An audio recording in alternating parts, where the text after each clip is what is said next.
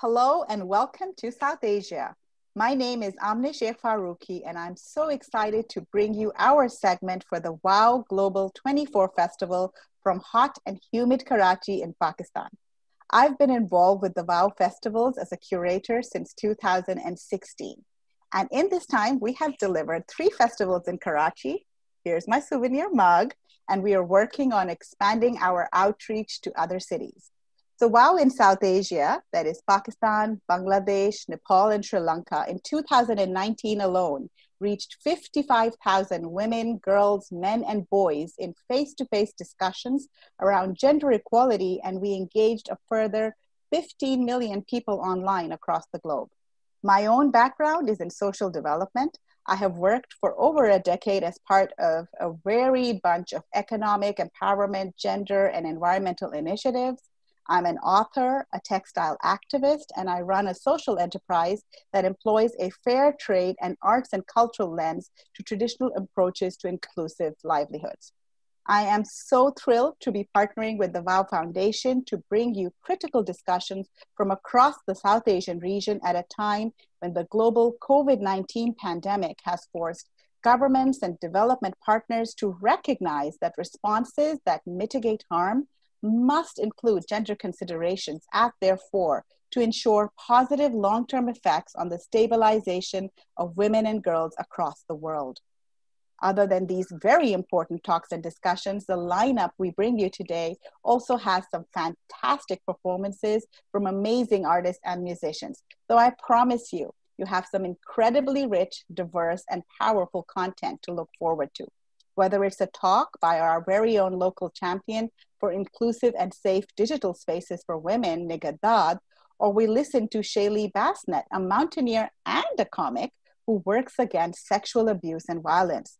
The women whose work we are so excited to feature today play a critical role in the inclusive, equitable futures we want for tomorrow performances of course. I should i would be remiss not to mention those. They're at the heart of every wow festival and wow global 24 is no different. So we have amazing arts practitioners lined up but i would particularly like to mention Farzana Yasmin reading from a stunning collection of works from young poets across Bangladesh who write evocatively and imaginatively about timeless themes of love, death, discrimination, disillusionment, while also focusing on beauty and hope. And of course, because this is South Asia, we have dance and music. And that's such an important part of our culture. And I'm so excited that it's a part of some of the beautiful offerings that you can look forward to today. I'm personally very excited to hear from incredible artists talking about the need for there to be more female icons in the media and in the arts. In a panel called Project Women Way, we feature women artists from Bangladesh, Nepal, Pakistan, and Sri Lanka talking about the representation of women in the arts and the idea of body image. This conversation is complemented by video clips of the artists at work, allowing us to show you a close up view of how they address these issues through their art. So without any further ado, I give you what the WOW community has to offer you today from South Asia please do get involved with the WOW Global 24 Festival conversations on social media and do not forget to use the hashtag WOWGlobal24. We'd love to hear from you. And now let's dive straight into a panel discussion on the environment and feminist responses to the same. A quick shout out to dear friend and fellow curator, Dr. Fozia Tahir, who's one of the many incredible women we feature in this conversation. Welcome to this panel on the environment and feminist responses. I'm Subina Shrestha, your moderator for this panel. I'm a journalist and a filmmaker from Nepal. We've been living in unusual times. The norms before March has been replaced by a new norm. And remember, like towards the end of 2019, when school children around the world were like protesting to pressure global leaders to ensure a safe future for them by reversing global warming, like my kids who are now eight and 10 were on the street with placards as well. And at one point, my son told me then eh, that they are not as lucky as me, for they are convinced that they're going to die at the age of 30, and I got to live longer. And at that time, climate change felt super urgent. Right now, emissions have gone down, but only by a little bit with measures to control COVID 19. But is this just a blip? Or have we learned enough, or are we going to rush back to our old ways? We've been warned of an impending humanitarian crisis from water wars and mass migration. We've seen natural disasters from cyclones, floods to droughts, and even now a pandemic. To discuss these issues, the role of women in environmental activism, we have a team of women who are leading the battle for environmental sustainability.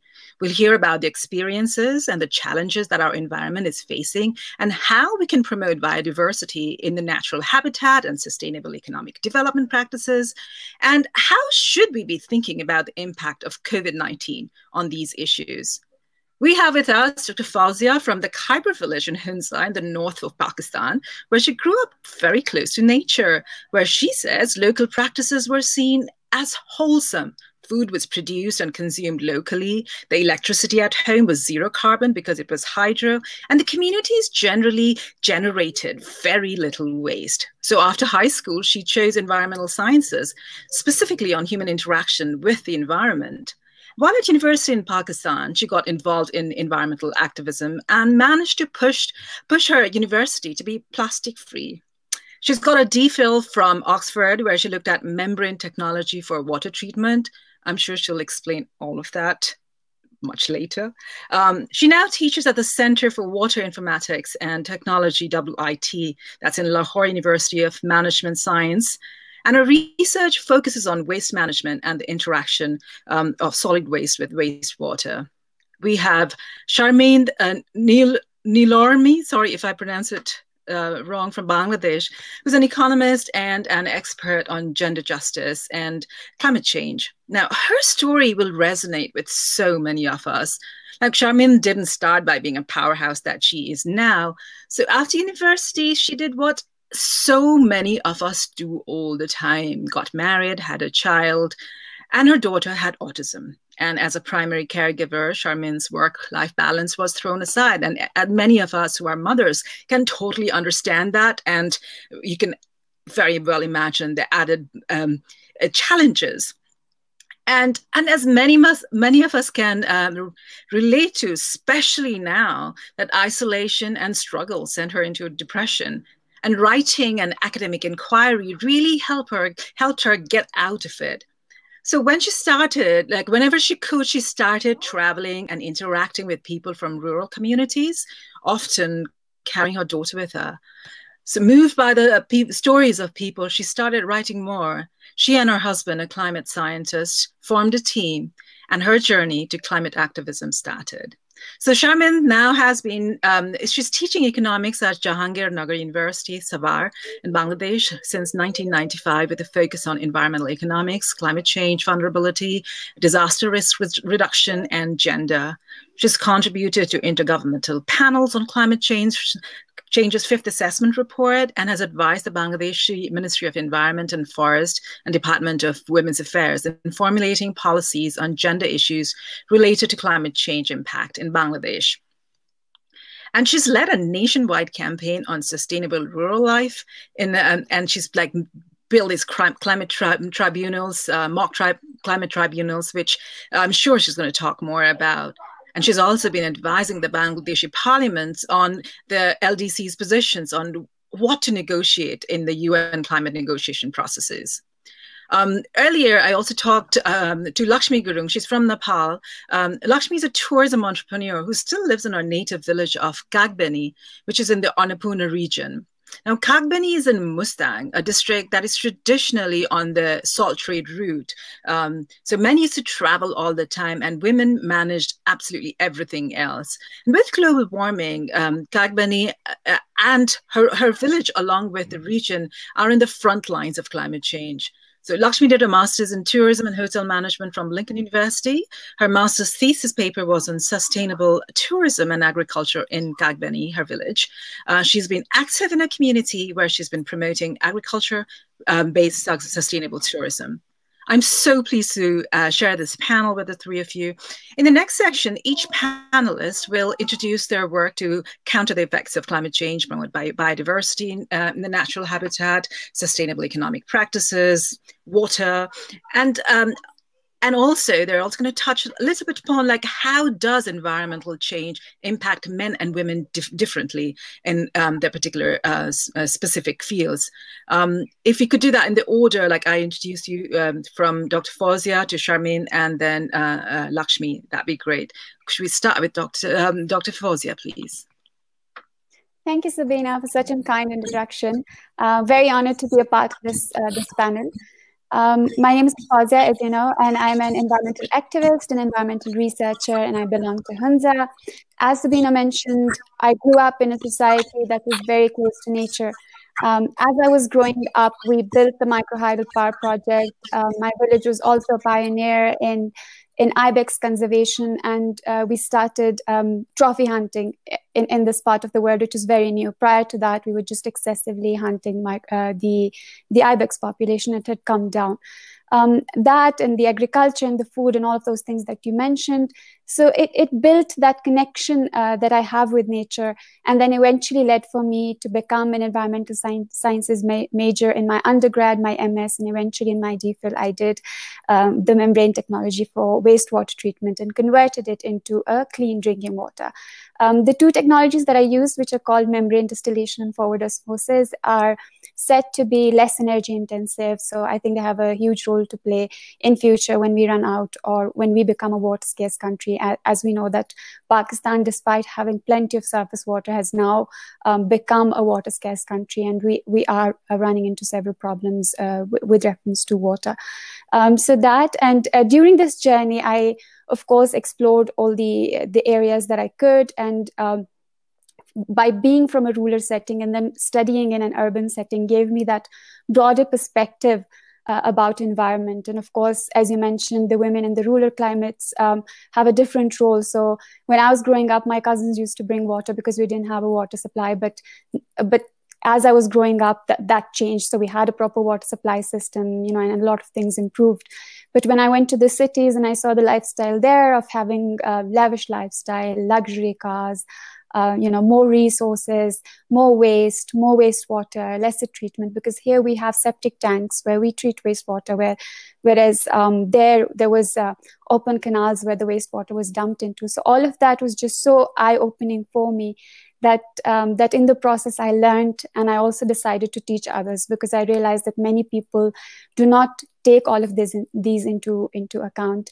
Uh, since I've come back from Oxford, because my um, study there unfortunately could not be implemented here straight away, so I decided to start with something simple and basic. So when I came back to my hometown with the Environmental Protection Agency here, we um, the, the thing that you talked about where i made my campus plastic free i had a dream of making my uh, village plastic free as well because my village has a legacy of making environmental cons conservation projects successful. So when i came here and i spoke to them i realized that the environmental conservation and, and environmental protection agency is already thinking about doing it. So with them i was able to um, make my village one of the first villages in upper hunza to adopt a ban on polyth polyethylene bag use um, and after that, when I joined LUMS, I had, um, of course, to choose where do I want to put my research skills into. And I chose microplastic pollution because I wanted it to relate to my activism. So my activism was mostly towards um, not trashing, reducing plastic use, reducing consumerism, and then eventually, of course, reducing the solid waste uh, pollution. And I think that in Pakistan and countries like Pakistan, there is a strong relation between solid waste management and wastewater management. Uh, and microplastic pollution sort of gave me that space where I could use something that that I'm campaigning about with something that I actively research on. Uh, so I use microplastic pollution research uh, for for my initial study, and then. Um, while I was doing that, I realized that in the urban setting that I was, it was too urban and too academic elite for me. And then I decided that I needed to, to go to, into the ground to see what's happening around the city, a city which is very happy and lively, like Lahore. You tend to forget people around you who could be living a marginalized life. Um, and because I was working on plastic pollution and plastic pollution reduction, I then chose to work with uh, this community of waste scavengers with an initiative, which is a women initiative in LUMS actually, who funded this, where I work now with female waste scavengers in Lahore who cater to the areas where the local um, authority is not catering to. So that has been another um, aspect of the study, which which is of course very overwhelming. I learn something new every day, and I learn. Um, that how we've mismanaged not only environment but the human interactions and the human lifestyle as well. And and that rich poor divide and that um, elite marginalized divide is so obvious. And, and you understand the, the, the term env- environmental intersectionality very well on how we are not only just um, exploiting our environment but also the at times the human and the human interactions within it Thank you. Uh, Dr. Sharmin, if you can um, expand a little bit more. I mean, I, th- I think what you just said, like about the vulnerabilities, I mean, even in the times of COVID, we have seen that the most vulnerable are the ones who are the most impacted. And, the, and I assume that's the same for um, the most vulnerable in all communities. Um, Dr. Sharmin, uh, please, um, if you could. Thank you, Subina, and thank you for a nice uh, introduction. And it's great uh, uh meeting all the energized uh, and inspiring woman from South Asia. Uh, as you said, I actually uh, born and brought up in a university campus where my parents worked, and that was uh, Whitlash Green, open spaces, and all that. Uh, and and uh, I um, I was a good score student, and after my masters, I entered in teaching and dreamt of you know going abroad uh, having a good uh, degree and come back. I was involved in student uh, politics as well. So i always had a dream of serving uh, common people uh, um, having that in mind uh, i started my journey in professional career. And um, just after my uh, joining in the university i got married. Then i we had a child. And in that journey my husband uh, is a climate change scientist and he helped me a lot. Uh, uh in early 2000 in climate change discourse there is hardly any human face. Actually that was all driven by science. The whole ipcc process the whole climate negotiation and the whole publication area for climate change that was uh, actually driven by uh, crude science. There was no human face.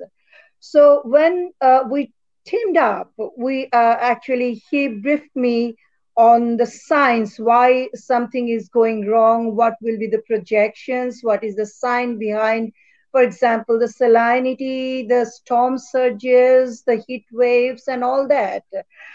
And i could see the human faces and we started traveling across the country and uh, actually i packed my daughter and three of us moved uh, uh, in a major way all over the country and and Bangladesh being a small delta, we have been, you know, experiencing a different hydrogeophysical realities in different parts of the country, and that made be understood that, uh, you know, salinity is impacting in a in a major way. Other area drought uh, is impacting in another way, and all that. Now the question remains: What you, Sabine, you asked, uh, how weather can be gendered? In early 2000 believe me there was no such documentation that whether uh, the vulnerability was differential among men and women. How climate change can bring differential impacts to men and women. So we started exploring and documenting how uh, the vulnerabilities can be different in terms of disaster uh, response, in terms of uh, uh, climate change response. Uh, just to uh, note you that in 1991 we had a great cyclone where, where we lost 0.3 million people and 90% of the deceased were female. And that could explain uh, how vulnerable women can be in term, uh, you know, in the time of extreme weather events, in times of disaster, even in slow onset uh, disaster like salinity.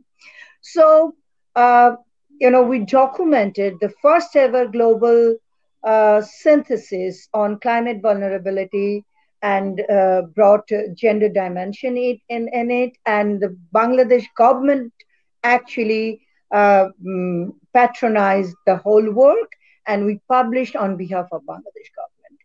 And uh, that was uh, uh, noticed by the UNFCCC process, and I was linked after that with the global uh, women activist groups like Gender CC, Gender and Climate Change Network, Women for Climate Justice in 2007. And we started our journey in climate negotiation in the UNFCCC process. Uh, and you can remember that, Sabine, I can tell you that uh, uh, before 2007 Conference of the Parties is COP13, before that, uh, the human dimension in climate change was missing. And it's people like us uh, uh, who went to Bali that year.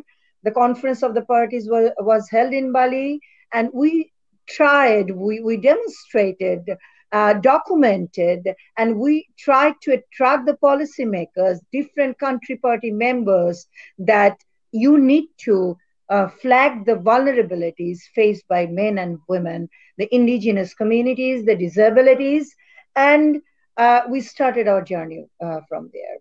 And I can tell you that uh, uh, the Women and Gender Constituency, the space created in the climate change negotiation uh, we were actually uh, the influencer to uh, constitute that constituency. This constituency actually provides the women activists the space in climate negotiation to uh, flag the issues concerning gender, women, and other minority groups. And uh, UNFCCC Secretariat actually asks uh, uh, recommendation from this constituency that what should be done, uh, you know, for more women and for more other vulnerable communities. So uh, that's how it started. Then I got involved in a nationwide campaign that was on agriculture and climate change. Um, and that uh, uh, campaign actually formulated different campaign materials. Uh, climate tribunal, the first ever climate time tribunal that we hosted. Uh, and then uh, my research was uh, with you know vulnerable communities. I, I worked with climate change adaptation and community-based adaptation is my interest. I work with communities, how the resistance is growing, how the resilience is growing. So yeah, that that's how I, I link my research with uh, communities, with the global communities, with the local communities, and I try to influence the local parliamentary members and the uh, top policymakers with my research outputs, and I brief them with uh, LDC negotiation points on a regular basis before going to uh, COP process. Uh, last, uh, for that matter, in this round, that being an acad- academician from a third world, I don't believe that uh, I set aside my all my activities and I keep on just writing and publishing papers in peer-reviewed journals. My research need to be connected with activism, and that's why I connect my act academic life and research learning to activism. Thank you. Thank you very much. I mean, right now it just feels like everyone has to be a climate activist. Um, I'm, earlier we checked with uh, Laxmi's internet and we uh, found out that we had some issues.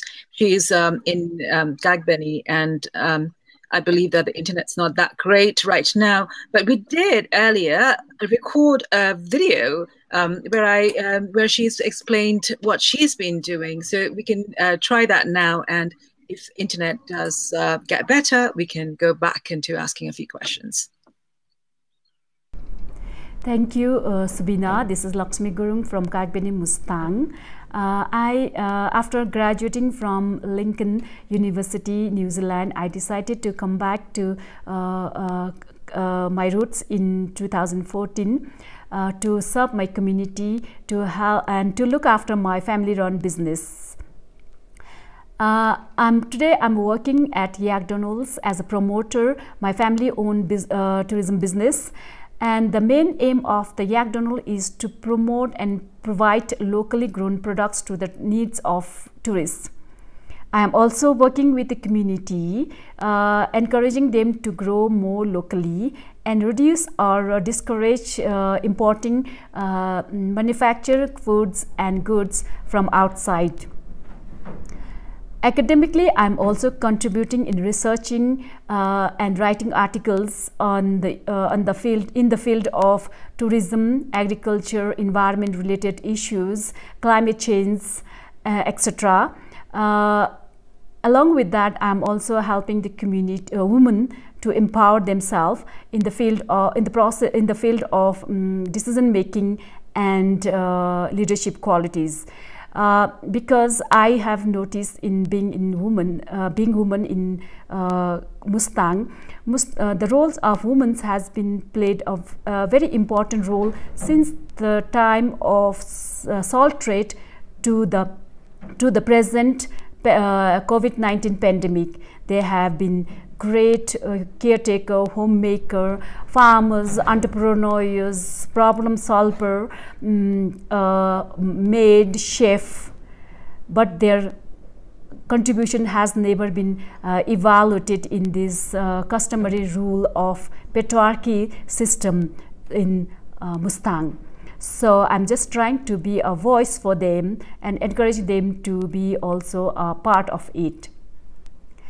And I'm also very happy to tell you that uh, at present I'm working with uh, around 3,000 um, local people, farmers, um, women, uh, tourism entrepreneurs in the region. And along with that, I'm also noticing a pat changing pattern of climate in Mustang.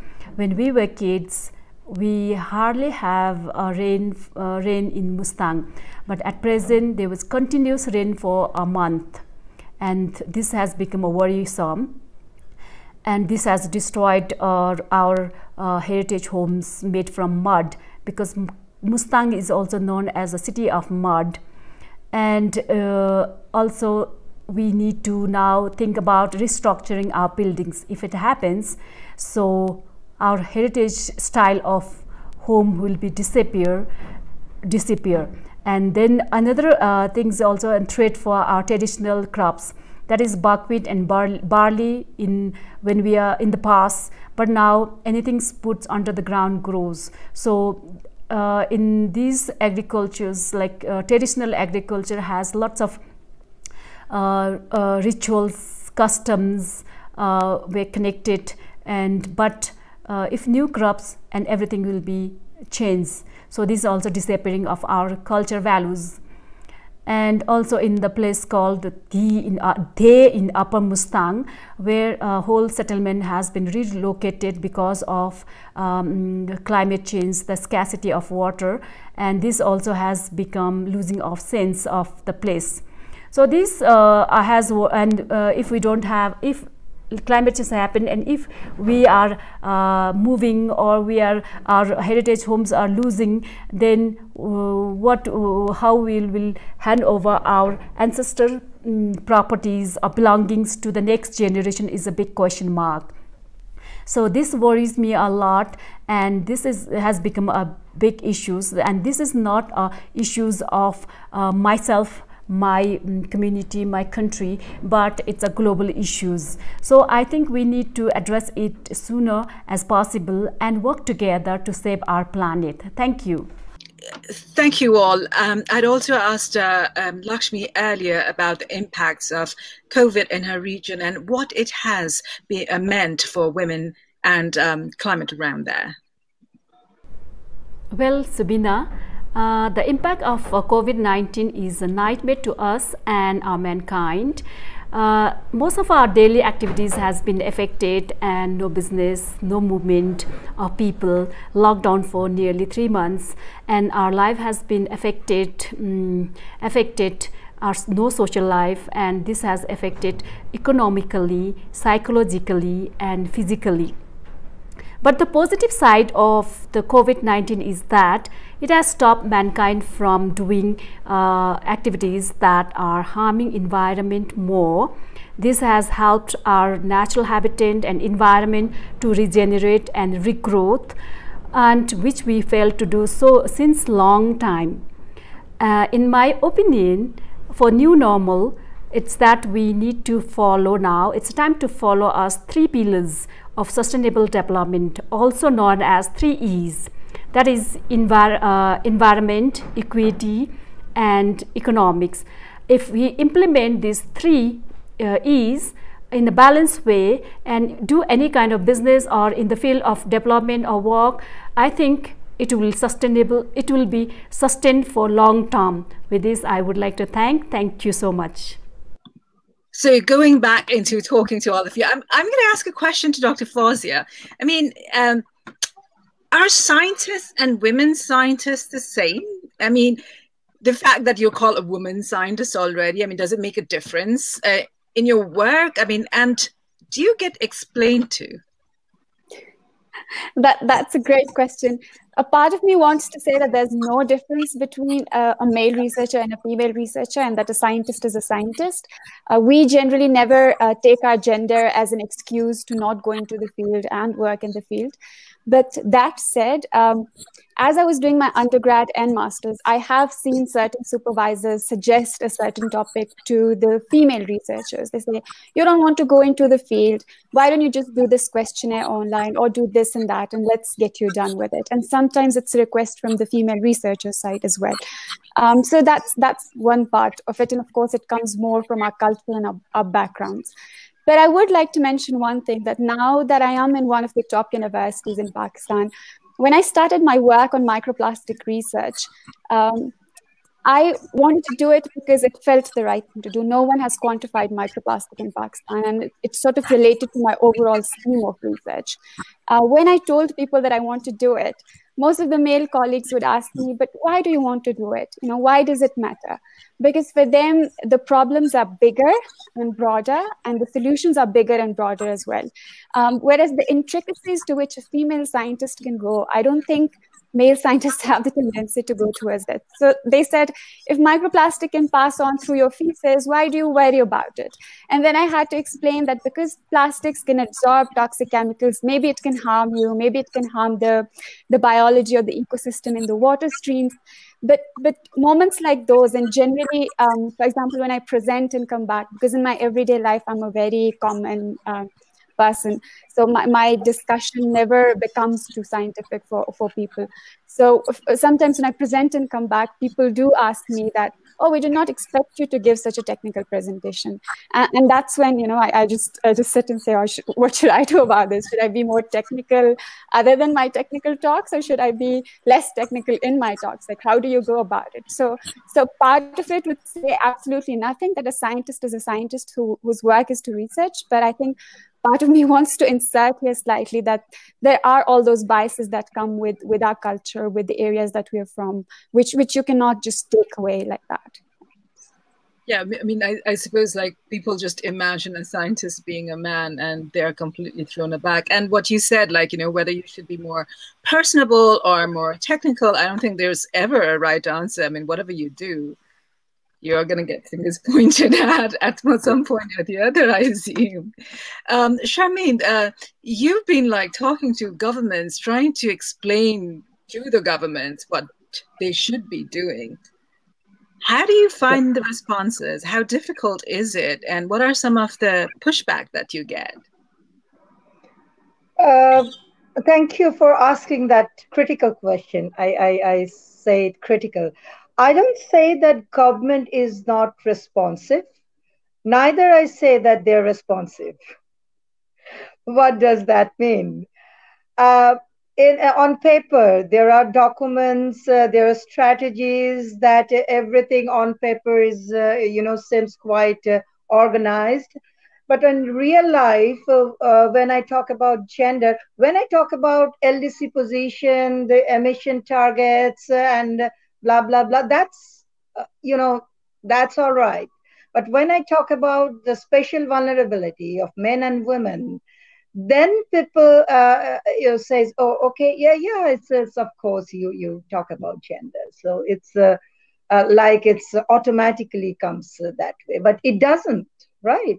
We see many women you know they don't actually carry the messages. It's uh, even uh, many men professionals men colleagues of ours they do very sensible interventions they do very sensible uh, uh, research on women issues. So it's not only women, uh, you know, it's just an advantage that we, we have been experiencing through.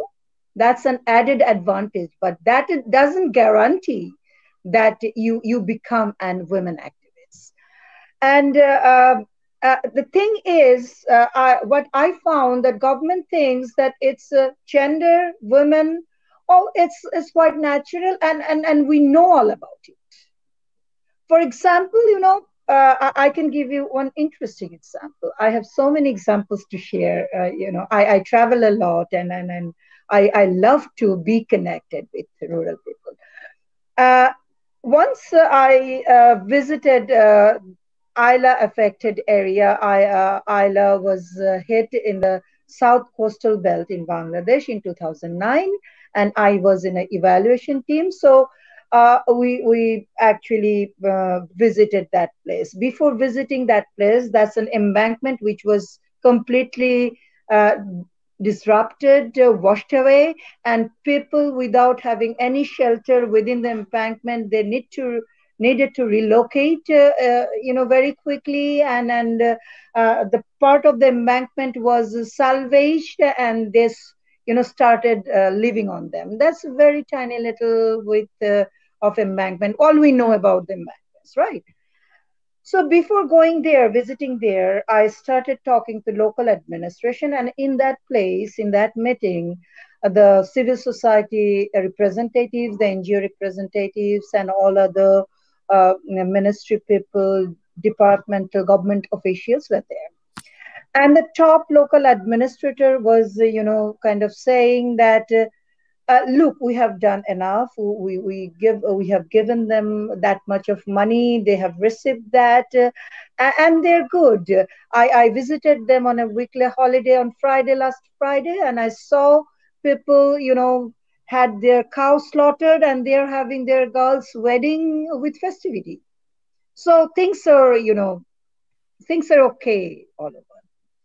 One NGO activist, activist, a lady, stood up, raised her hand, and said, "This is the Upojila, uh, we call it Upojila, the you know local level governance. This is the first ever Upojila in Bangladesh who declared 100% sanitary coverage.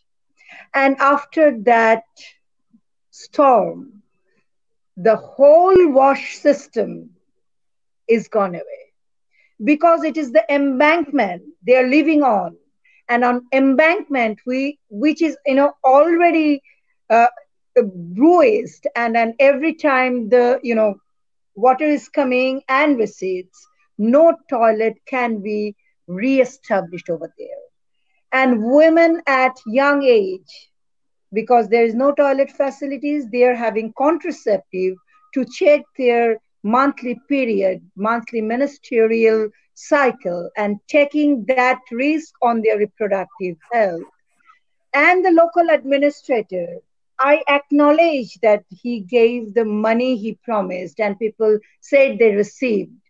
But it didn't notice that there is a huge uh, gap in sanitation, which is very important for women, not for women's being as well, being a reproductive health, it needs to be that administrative's, uh, you know, administration's duty to address.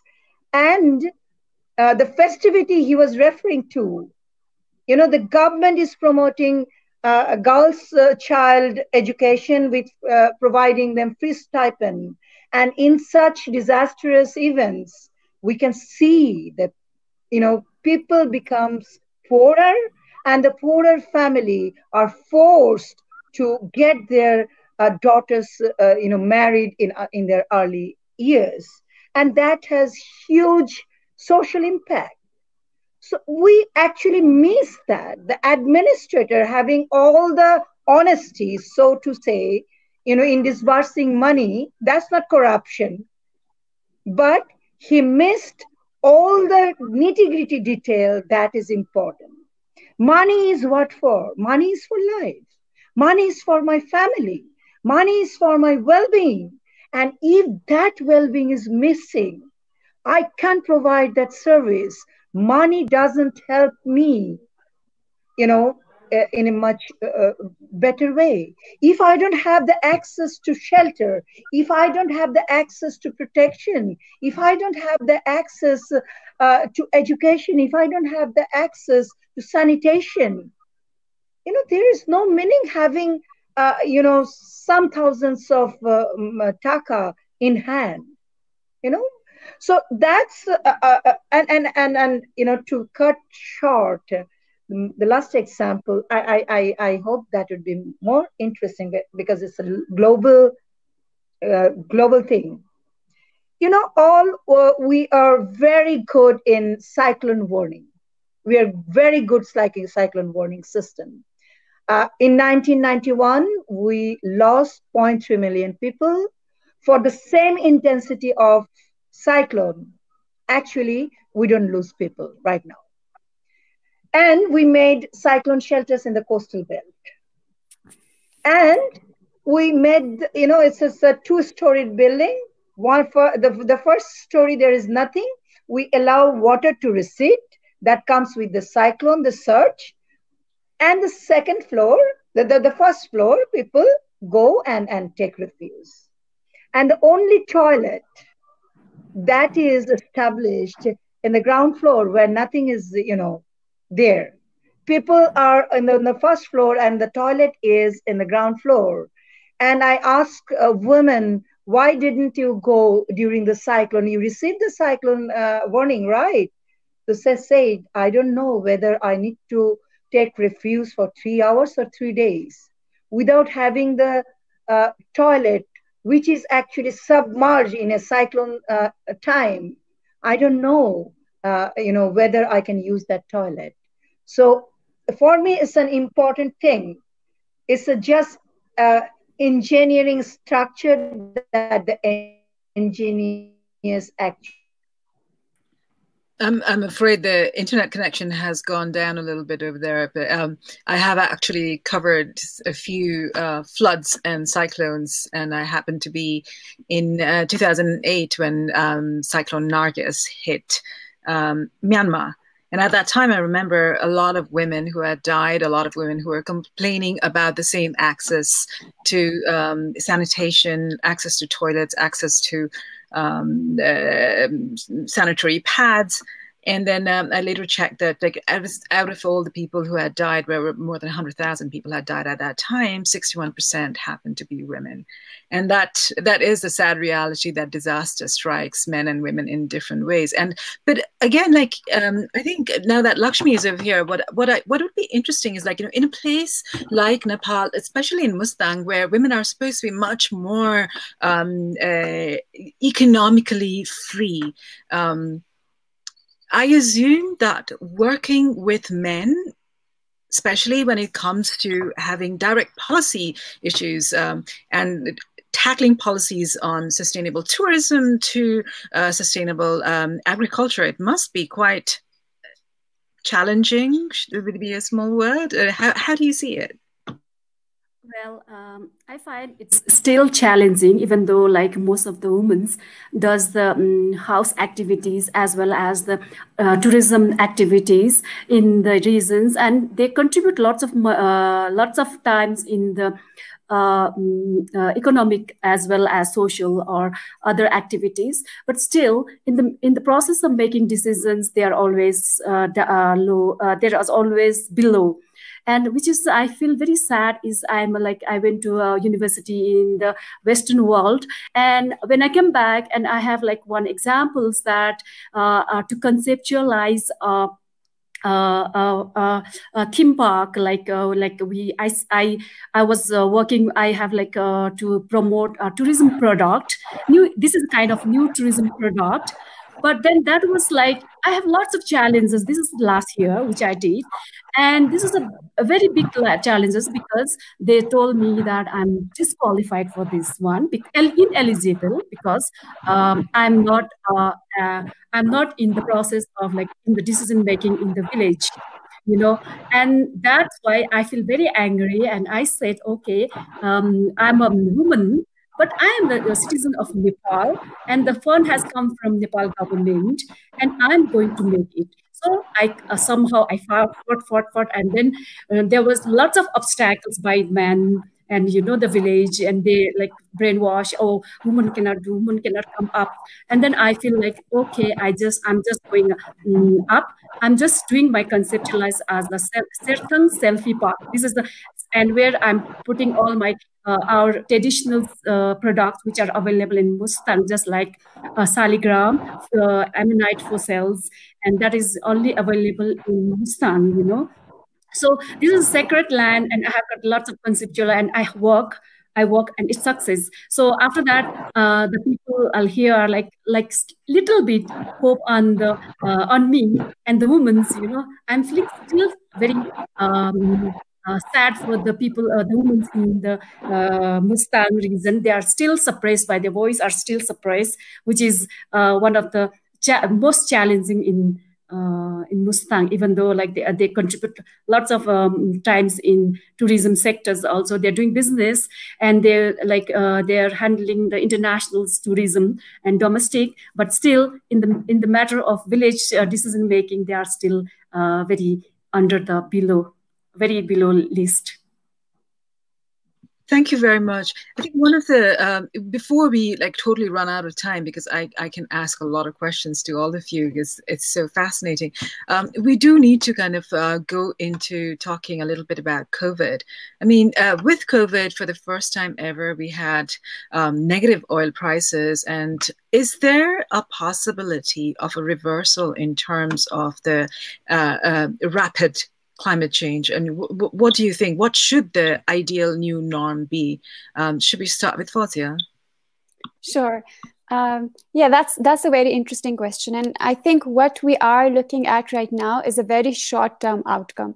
Um, and as a as someone who knows climate science i think we should look at it as a long term impact. Anything that we're looking at we should make sure that if we're looking at a primary pollutant we are aware of the secondary pollutants that would come later in in in this discussion. So for example right after covid we heard and saw so many stories going viral about how our air is clean how our water uh, bodies are becoming clean. But we need to understand that this cleanliness this cleansing this transition is temporary it is not going to stay like that forever. We also read and heard and saw researchers share with us that the ozone in the stratosphere is increasing or it's healing, and that's why now the ultraviolet radiation should not be able to come come to us. So that would have incre- improved the environment a little bit. But I think there's so many issues um, associated with COVID nineteen as well, and instead of I think improving the environment, we are harming it already a lot more. And I think there is a fear that we might end up harming it more. Because if you look at COVID 19's relation with wildlife management, you will see that because of less patrolling, and because of, for example, in my village, lesser licenses for people from outside to come and trophy hunt and give money to the community, to the local community, what, my, what has ended up happening is that a lot of people are hunting these uh, species that are at the verge of extinction. So, because of less patrolling, that is happening all around the world, and it is an established fact.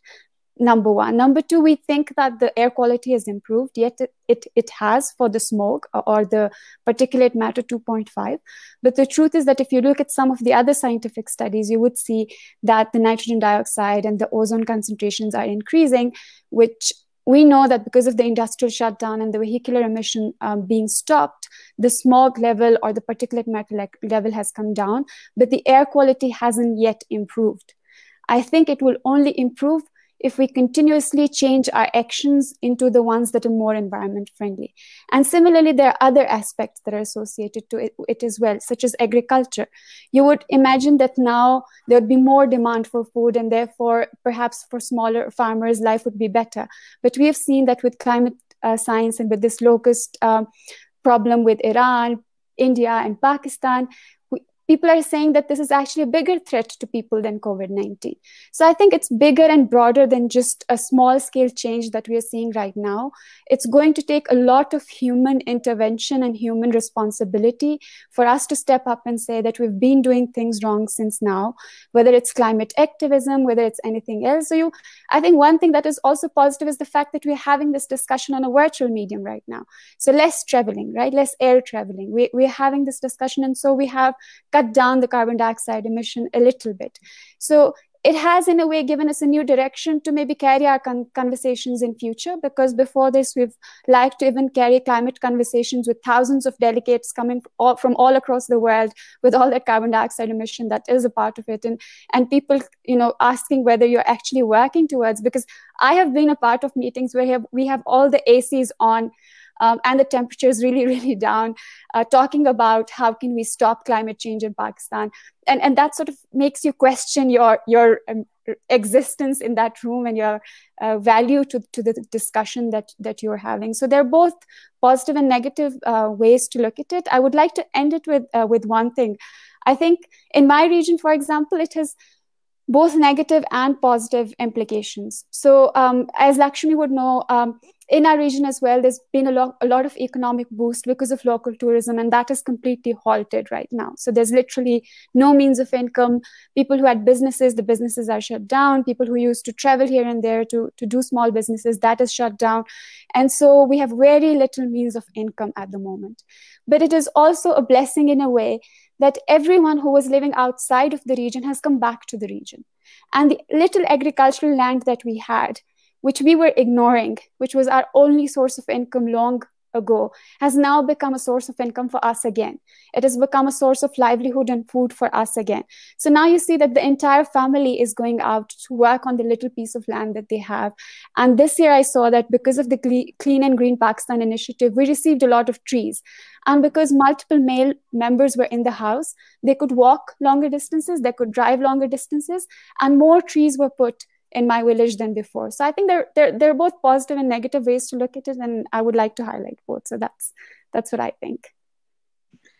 Uh, I think um, is uh, to uh, one of the things that people are floating is like what how why covid-19 happened so do you believe that the covid pandemic is a result of environmental change and does that even make sense and how does it relate to environmental activism in the future? Is there an upside, um, like the negative negative oil prices that happened for a while? And is it how difficult is has it made uh, made it for you to advance your work? Um, thank you for asking. I don't see actually any relationship between COVID nineteen and environmental change. That environmental change triggers uh, uh this COVID nineteen situation. Uh, but the interesting thing is, as we are all locked down and and uh, uh being a uh, being uh, living in Dhaka, in, in the most uh, densely populated city, and, and, in a small apartment where we can see the skies and the greenery, and the perks are not available. the people now can understand that you know you need to have open spaces you need to have uh, uh, you know greenery and you need to care about the nature. The best part of it is is uh, uh here. Um, the lives uh, we, we we we are in very dangerous situation in bangladesh especially in dhaka and, and the vicinity areas. Uh, the situation is grieving actually. Still apart from lives you know lives doesn't you know nothing is comparable to lost lives. Apart from lo- uh, apart from lost lives the economic loss is is huge. And uh, it's uh, you know the in, uh, people are losing their uh, employment not within the domestic uh, um, sphere also from the overseas as well as the prices of oil are uh, cutting down, going down. Many of our uh, uh, people are working in the Middle East and, and the European cities and, and, and our European, you know, agriculture side and all that, they started coming back. So it's a huge impact. And in terms of climate change, you know, when we talk about resilience, we, we often go to small farm holders, small female farmers that you need to understand about the climate vulnerability and the climate resilient crop varieties and all that. You need to build up your cultivation on that. And, uh, you know, these uh, tiny little smallholders, they are now losing their livelihoods. They don't have uh, anything to, you know, the distribution channel is uh, disrupted. Uh, we, we have dairy hubs. They don't have, uh, you know, anything to uh, distribute right now. So this kind of losses, this disrupt the resilience building process. So it's it's quite worrisome that uh, yeah, our uh, process is uh, disrupting, and we need to be with them with uh, special stimulus stimulus packages, and we don't know how far this will continue. So we need to make contingency plans, and we need to be with them with resources. Uh, with uh, different protocols, you know, to build upon their resilience you know what? I mean I, I i have such a long list but i've just been told that we're almost out of time. Who would have thought about that? Um, thank you so much for this really enlightening and such a timely conversation. I hope um, quite a few uh, future environmentalists will tune in. And in fact turn it would be great if everyone tuning in ends up being an environmentalist. Uh, thanks to British Council for getting me involved. Um, personally, I'm going home much wiser. Stay safe and stay healthy. Have a good day. Thank you. Bye.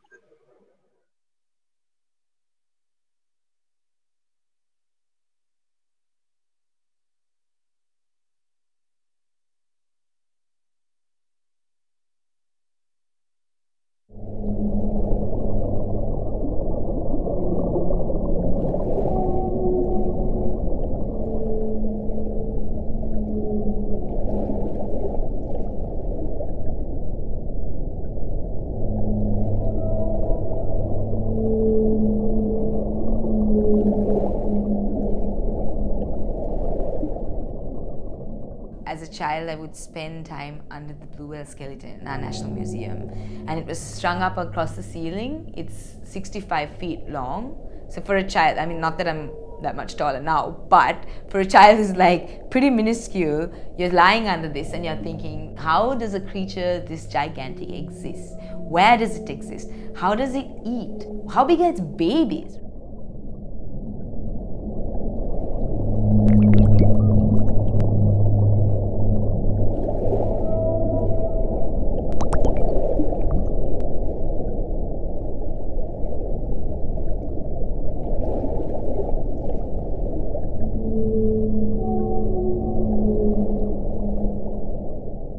When I was 18, I was resolute in the fact that I want to be a marine biologist. Everyone around me was like, but Puta, what are you going to do with this degree? And I was like, but this is an island. Why are we questioning it?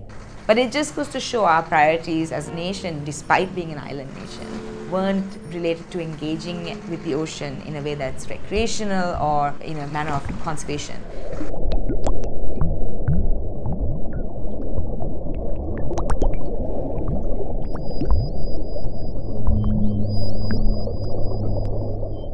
It's not an easy ride being a woman in science, um, being a woman from South Asia in science, because certainly for us as a woman, there's all kinds of challenges, everything from being dismissed to I mean, I've been at meetings where I was too young and too female, so nobody wanted to listen to me, to people being very patronizing about, oh, have your parents given you permission to do this? Or does your husband mind? Nobody will ask men those same questions.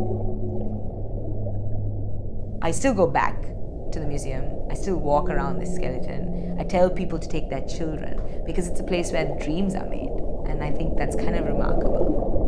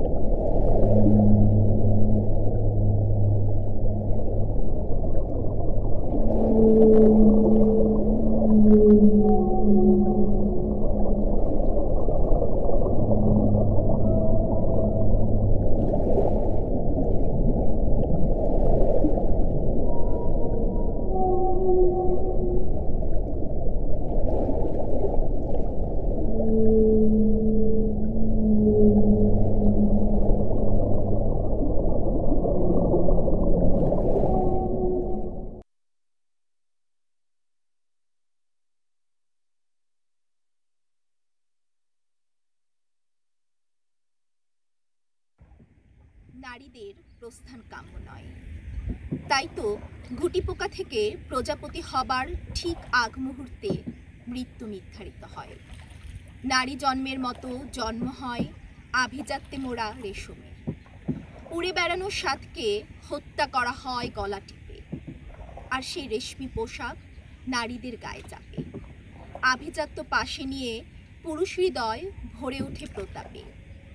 সৌন্দর্যের প্রশংসায় নারী ভুলে যায় সুপ্ত স্বাদ সেই প্রস্থানের গ্লানি বেয়ে চলে গুটিতে বন্দি জীবনের। নারীদের প্রস্থান কাম্য নয়। ভালোবেসে পুরুষেরা চায় নারী মন বুনতে, মনের ঘাটে খুঁটি কাটতে। একটু বিশ্রাম নিয়েই শুরু করে নৌকা বাইতে। ইচ্ছে হলে ফিরবে ঘাটে নাও পারে ফিরতে। নারী তুমি অপেক্ষা করো দীর্ঘ রজনী শিথির সিঁদুর আরও রাঙিয়ে, হাতে কাঁকনবালা জড়িয়ে যদি মাঝির মন নিতে পারো ফিরিয়ে। নিজ মনকে থিতু করো, তবু প্রস্থান করো না। নারীদের প্রস্থান কাম্য নয়। পুরুষের জন্মই যেন প্রস্থানের, আর নারী মমতা তিলে তিলে জমিয়ে গড়ে তোলে ভালোবাসার মৌচাক। হঠাৎই সেই থিতু হয়ে থাকা নারী যখন মৌচাক ভেঙে অথবা গুটি থেকে প্রজাপতি হয়ে প্রস্থান করতে চায়, প্রস্থান করতে চায় মিথ্যা সঞ্চিত ভালোবাসা থেকে, পুরুষের নির্লিপ্ততা থেকে, কাকন বালার বেরি থেকে, তখন মমতাময়ী নারী হয়ে ওঠে বিশ্বাসঘাতিনী অথবা অভিশপ্ত জননী। নারীদের প্রস্থান কাম্য নয়। তাই তো সমাজ তাকে লটকে দেয় বিবেকের বেষ্টনীতে। সবলা নারীকেও ছুঁড়ে ফেলা হয় Hi everyone, my name is Nighat and I am from Digital Rights Foundation. I, um, I also founded the organization. Uh, I also founded uh, Cyber Harassment Helpline in 2016, which is the region's first helpline. Um, and uh, while keeping in mind that we are going through very unprecedented times, uh, it's a pandemic, um, lots of uncertainties around. Um, I'll be talking about the work that we do at the helpline, but also addressing the issue of online violence against young women and girls, also sexual harassment in the online space uh, during pandemic. Um, we have been hearing news about uh, increased domestic violence around the world, not just in uh, developing countries and patriarchal societies, but also developed societies as well. Um, we have also seen that during lockdown, uh, the um, support system, the shelters, uh, helplines, they also suffered a lot um, because uh, lots of uh, helplines and uh, shelters uh, they didn't have SOPs around physical distancing, so the immediate reaction was to shut down services. everyone was figuring out how to deal with that. Um, so we at the helpline uh, also um, we had to um, um, follow the SOPs of lockdown and we had to shut down the helpline which is a toll free number so we have like uh, helpline staff uh, and when we had to shut down the helpline we were figuring out that how we can continue working uh, uh, providing keep providing services. Uh, at the helpline it's uh, more digital security support legal advice and mental health counseling when any victim and survivor face online violence. Um, so when we say online violence uh, against young women and girls what exactly it is? Um, basically it's uh, any abuse uh, hate speech harassment stalking um, rape threats, death threats. So any kind of uh, abuse uh, that I have mentioned, and even uh, beyond that, when it happens in the online space, when it happens on uh, social media platforms, that constitutes cyber harassment. Uh, in Pakistan, uh, we are lucky that we have organizations like Cyber Harassment Helpline or the Ministry of Human Rights also has a helpline uh, which uh, tried to uh, provide services even during lockdown. And we have we I mean it took us some time to figure out to keep keep continuing with our services uh, but at the same time what we did that we started giving services through the through emails and through our social media platforms in march and april we found that the cyber harassment basically increased by 189% as compared to the January and February data. And uh, it was quite shocking for us because we were not expecting that lots of people were, were, uh, were uh, will reach out to us. Um, but at the same time, young women and girls across Pakistan reached out to us uh, to seek support. Um, during lockdown, uh, not just the domestic violence increased, but also the online violence increased uh, in different forms. Uh, we found at the helpline that uh, mostly it was um, uh, non-consensual use of intimate images, so blackmailing over those images, non-consensual use of information, um, and unsolicited contact. All these are criminalized in the Prevention of Electronic Crimes Act, and we have a law enforcement authority which is called Cybercrime Wing. Uh, so, uh, at the helpline, we have been providing these services and support to the victims, but it's very important that we as society know that uh, online violence is as serious as offline violence. And when violence happens or occurs online uh, that hinders uh, women's other freedoms like access to the uh, internet, access to the education, access to knowledge. So, access to internet is not just an access to an online space, it's an access to knowledge. So, it's important to acknowledge that this violence happens. Uh, please know that you are not alone and there are these services like our helpline that you can reach out to. Thank you. I am Pranika Koyu. I'm poet and activist from Nepal. My poems are basically um, personal experiences of having to grow as a girl child, adolescent, female and young woman in Nepal, uh, which has very um, patriarchal values, uh, which is very patriarchal in nature, the society.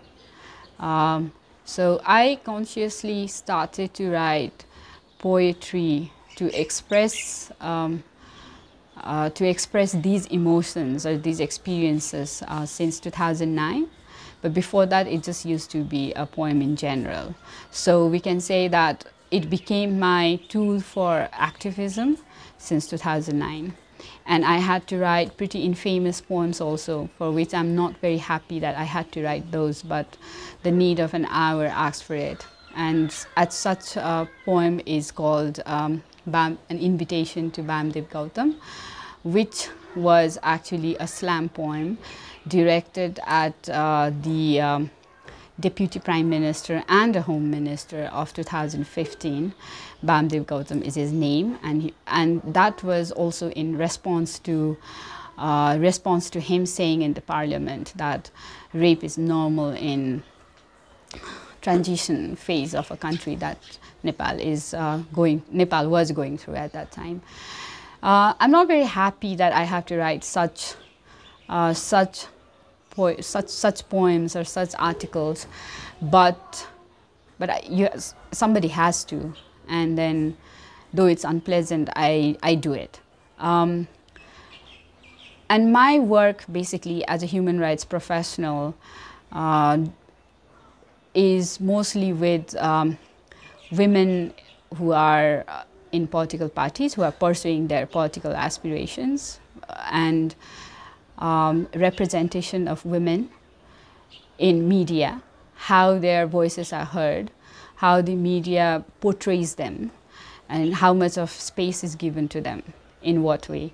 Uh, that is my interest. And um, the other, other area of interest is that the women uh, who were assaulted during uh, conflict, during the 10 year old conflict that Nepal had, um, that is my other area of work.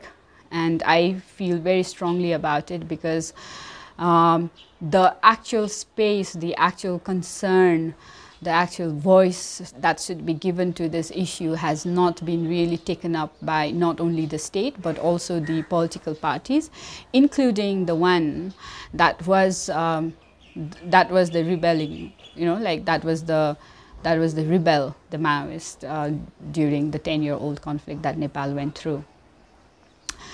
Um, like I'm also a researcher and I also do interpretation. So through this, uh, through this work of mine, every uh, community, every individuals that I come across, uh, my observations and my understanding of their issues uh, is, you know, like through that I do understand what the problem is, and I do uh, do the analysis. But I think that this is what most of us do anyway, understating, I mean, like stating the problem and analyzing it. But I think we have to go a step further, which is also to take action um, from, you know, like also to take the action, do your bit. Do not just be happy with just writing a report or just, you know, like uh, giving a speech. You need to act um, and if anybody says that they are an activist or that they are rights professional or that they are development professionals, I think um, when you talk about social justice or when you say you are working, uh, you know, like you're working for social justice along the feminist principles, then um, like just knowing the problem is not enough. You have to act and you have to act now. And that is what I think I'm committed to. Uh, whether I was the uh, human rights uh, interpreter and then the human rights officer later on with uh, OHCHR, which is the Officer of the High Commissioner of Human Rights, the UN human rights body. Uh, I was also the advocacy coordinator with Asia Indigenous Peoples Pact in Thailand. Um, and also I was one of the campaigners of a 107-day youth-led campaign in Kathmandu, which is called Occupy Baluwatar. That was in 2012. Um, and this was a campaign where like, uh, you know, like youngsters in Kathmandu, when they came to hear about what the officials of uh, immigration department had done to one migrant worker uh, who was traveling in a, um, in a false passport, uh, instead of taking legal action against her, what they did was uh, really out of the line. They took her money and she was handed over to the police constable who raped her. Uh, so we were demanding uh, not only a speedy um, speedy court process for her, like uh, to decide her case. But there were other four other cases um, which included violence against women, like which revolved around violence against women. And so we were demanding justice uh, from the government. Moreover, we were demanding accountability uh, from the government officials and uh, we wanted the state to end this impunity that if you are a government official then you can uh, let go.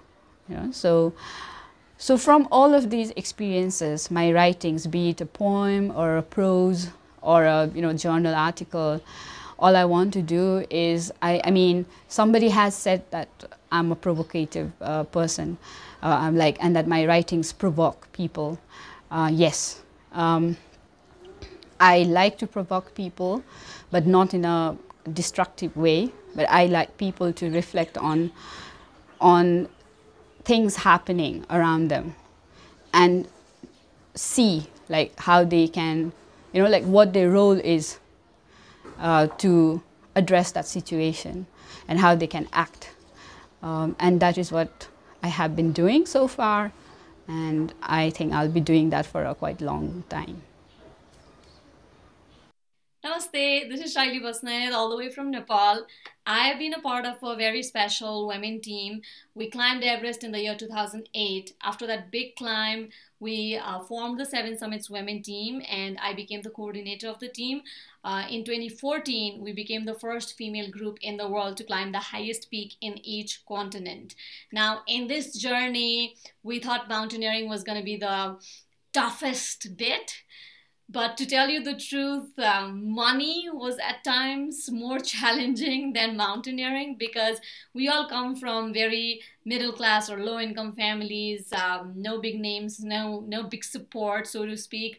So there were times when it was very very difficult uh, for us and we'd always you know complain or let's say hope wish that things were better for us um, that you know the whiny bit so, if I may say that, changed in me and uh, my teammates when we started working with a very special group of young women.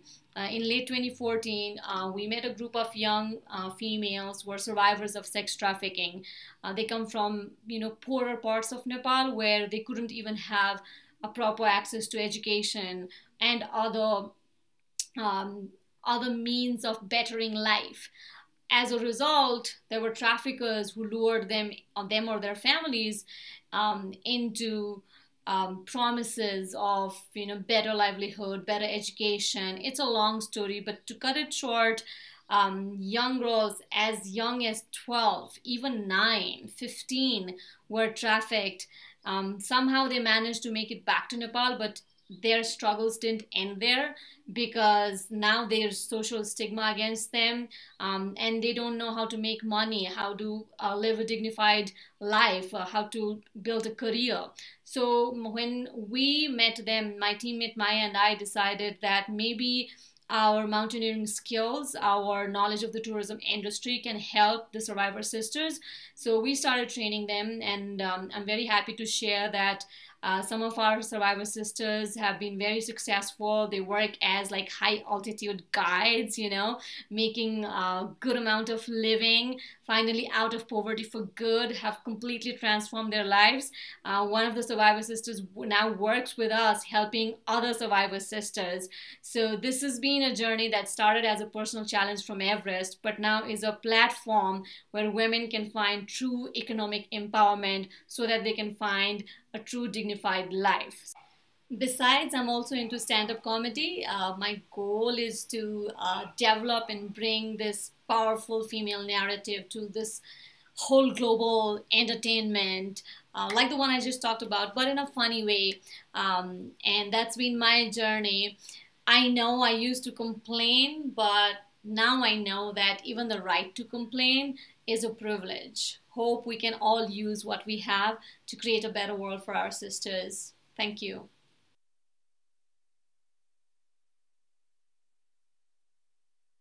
Hello and thank you for joining us on Project Women Way. My name is Promina Shrestha and I'm an illustrator and a researcher for South Asian art, especially focusing on Nepal. Today we have with us four women artists from South Asia who are all part of the Creating Heroines project.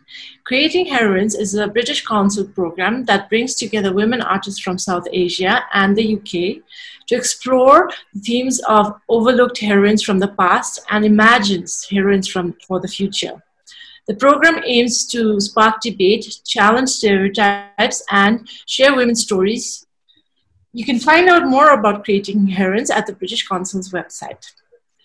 Project Woman Way is a multimedia experience that brings together four women artists from South Asia into conversation where they will talk about ideas of ideal heroines, taking cue from women they love, admire, and look up to.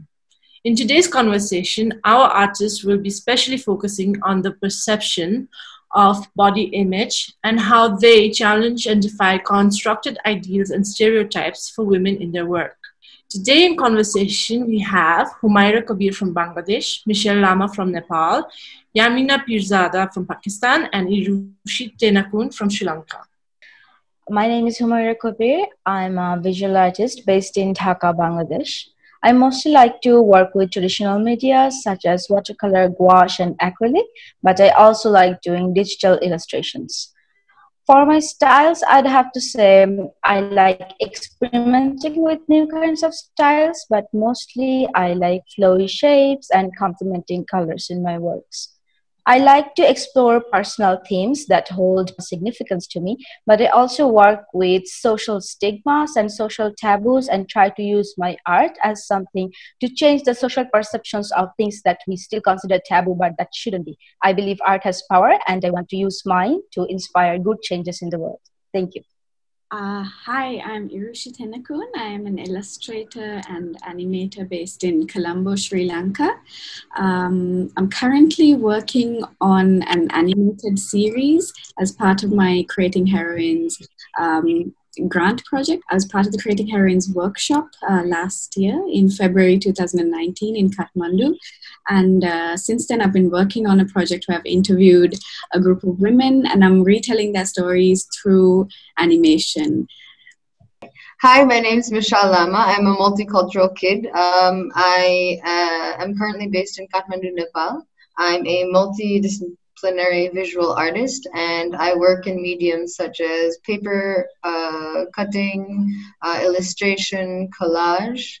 Uh, I've been currently working on a long term project called Art Aid Nepal, and where we work with children uh, to empower them through the means of art. I was also working with Virangana um, Comics, where we're working doing illustrations as a feminist collective. Um, and 2019, I was also working with uh, creating heroines. Hi, I'm Yamina Peerzada. I'm an actress and a puppeteer and a puppet maker.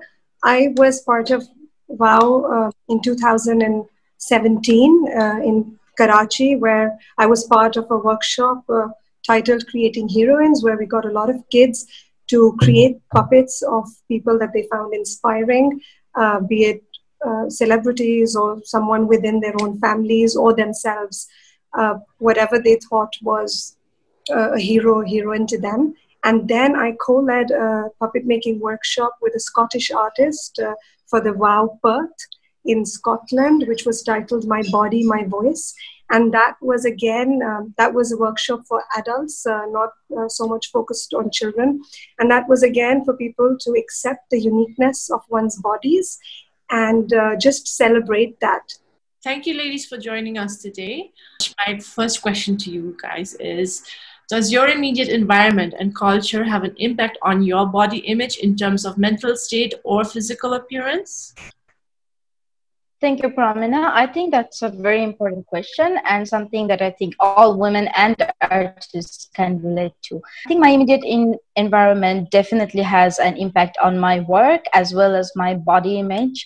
I don't know how much it has impacted my physical Im- image or how I put myself forth into the world, but when it goes for my mental state, it has definitely affected me. Since I was young, there had been all these ideas around me about what it means to be a girl and what it means to be a boy, and I didn't fit into that box. So obviously since i didn't fit into that girly box i thought that my only credibility is that i had to be tomboyish i can't like girly things i have to like all the things that boys like so that even if i can't be pretty i can still be cool and as I have grown up, I have realized how wrong that idea was. I don't have to just pick one side or the other. And now that I like all sorts of things, I like pant shirts, which in my culture is considered still a very much masculine thing. And I still like frocks and I like makeup, and I have found a middle ground that I'm very comfortable with. And I think in this topic, it would be very relevant to also refer to the work that I'm doing today where I am drawing my heroines, who is based on the concept of my five maternal figures. Even when the society had made me feel very unworthy of um, people being attracted to me as a woman or as a girl, they have always told me I was beautiful. And that is something that I am really focusing on today's work as well. Thank you.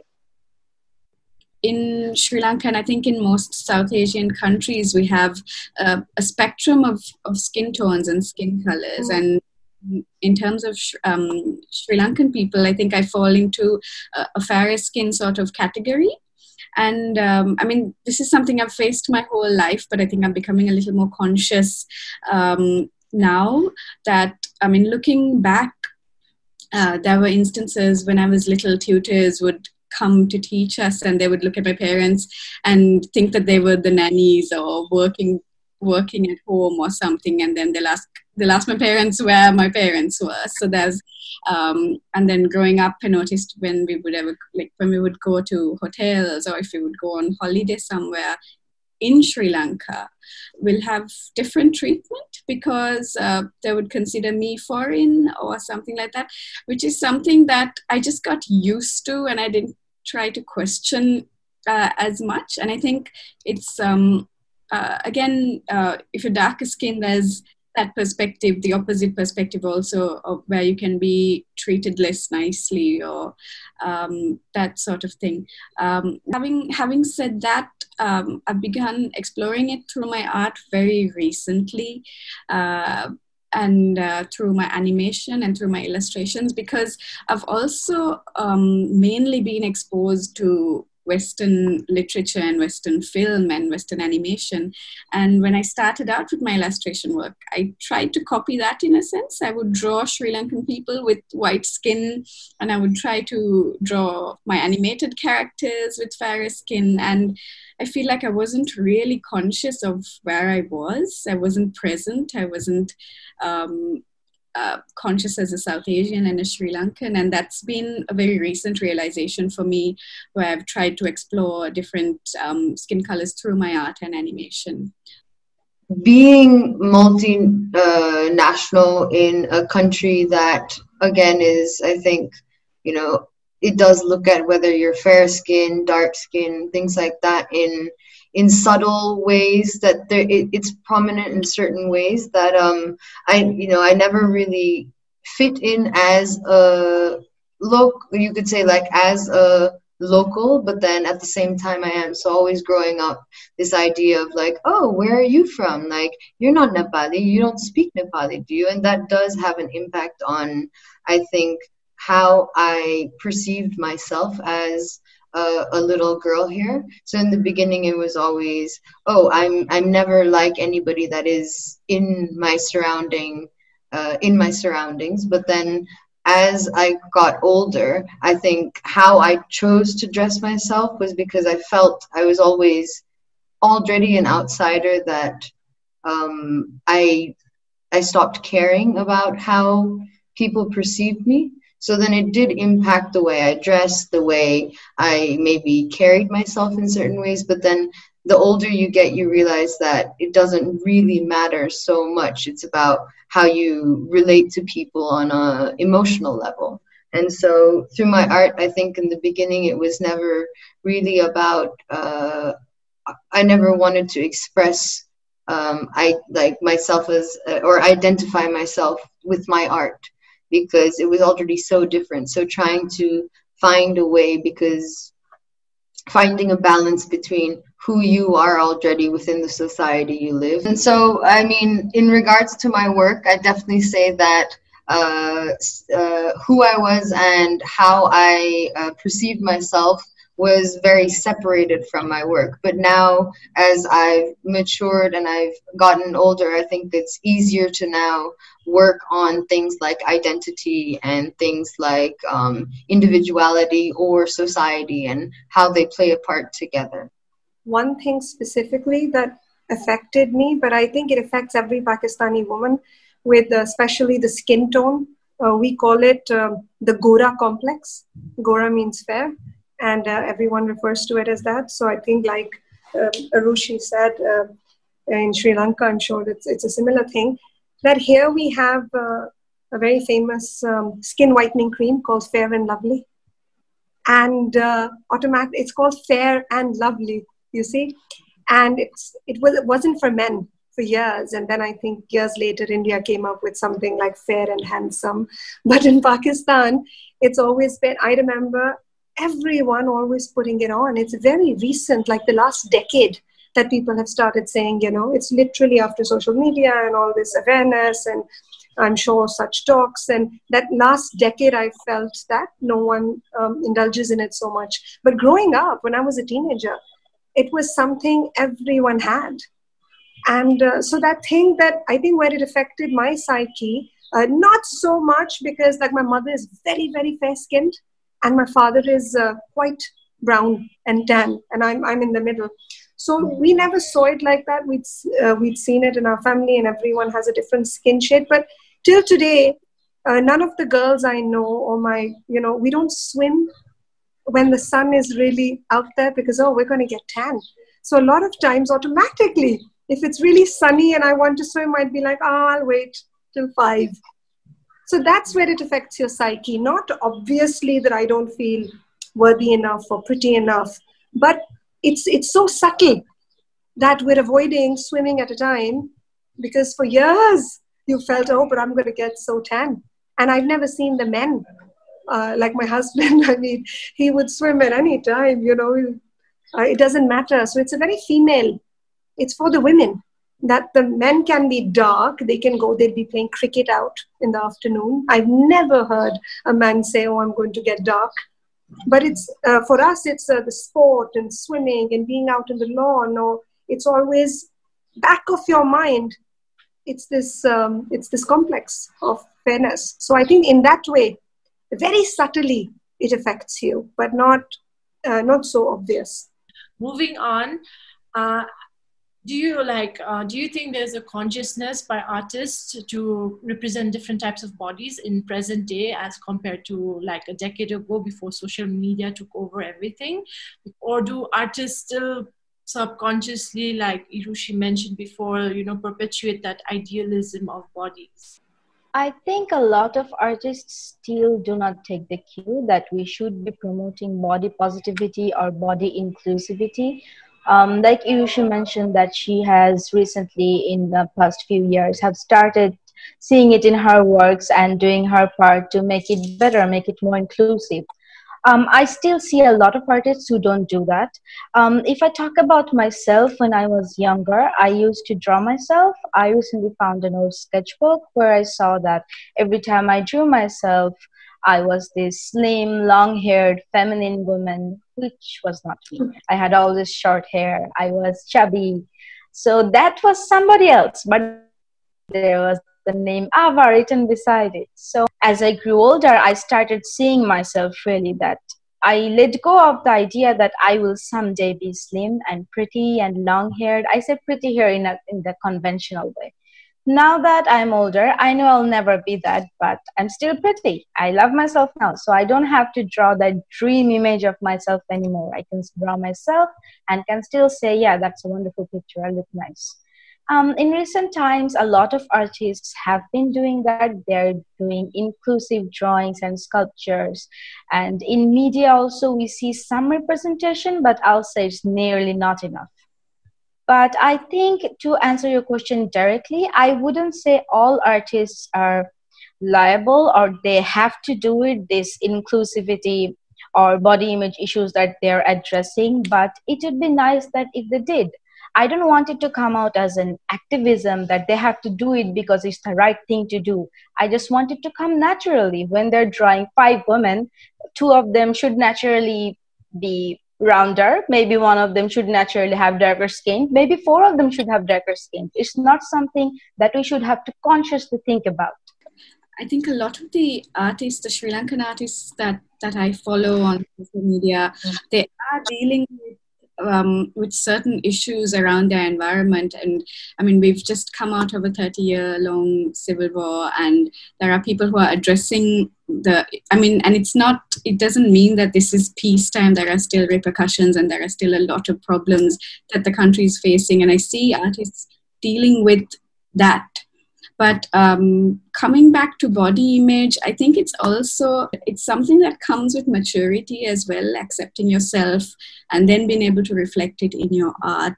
Because um, i'm uh, i just turned 30 and um, this is something that i discovered last year. So it took me quite a long time i think to sort of accept myself and accept the world around me.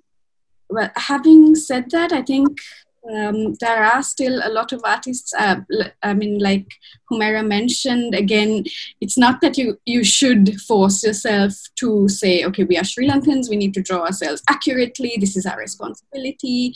Uh, art should be a form of activism. It doesn't necessarily always have to be that. But again, I think through these subtle changes, we are changing a narrative. We are accepting ourselves. We are dealing with our countries as uh, maybe post colonial in, in various, in a multiplicity of settings. And um, we're trying to, I think, break some of those veils that are blinding us uh, in terms of art.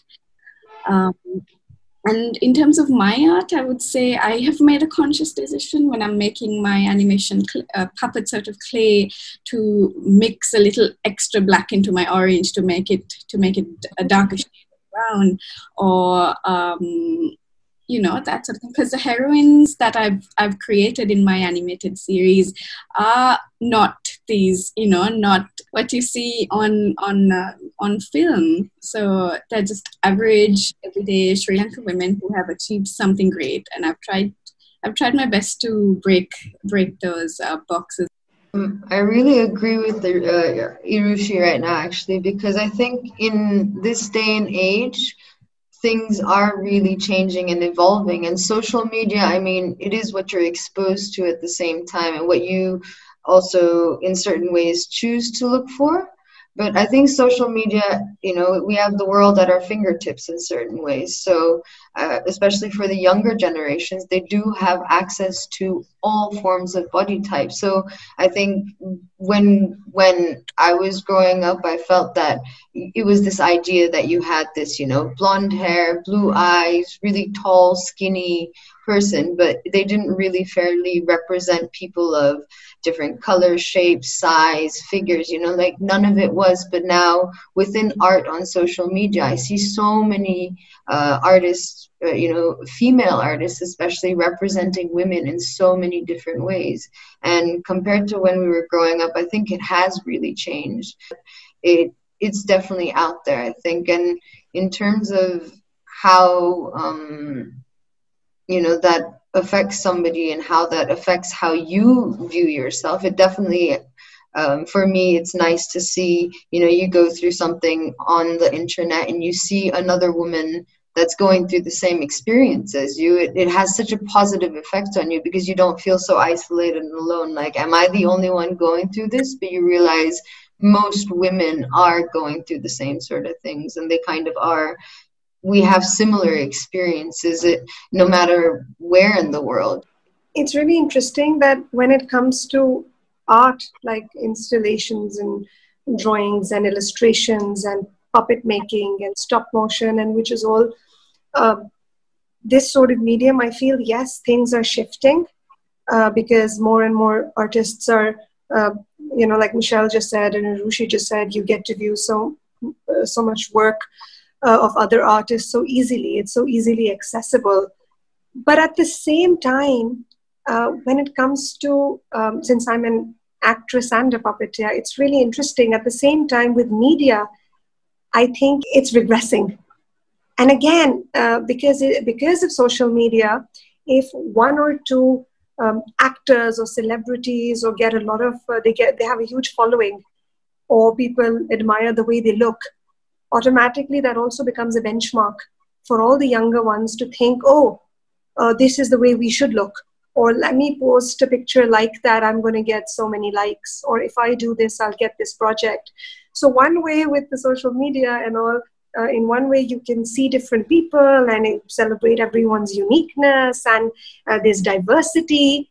And at the same time, the negative is um, you start uh, kind of making them your ideals a few people and again it limits the concept of beauty.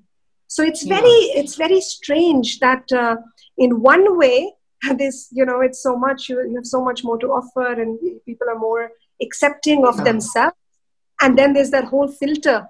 Uh, let's put a beauty filter let's um, hide this or crop it up and just Yeah. post or remove the blemish. Uh, so again you're just showing a version of uh, you know like a fantasy or something of yourself again hiding further from yourself Moving on, um, do you believe how you perceive yourself, uh, your own body image, affects how people view you and your work? And does this in turn, in turn affect your work? Like how you perceive yourself, does it affect your work?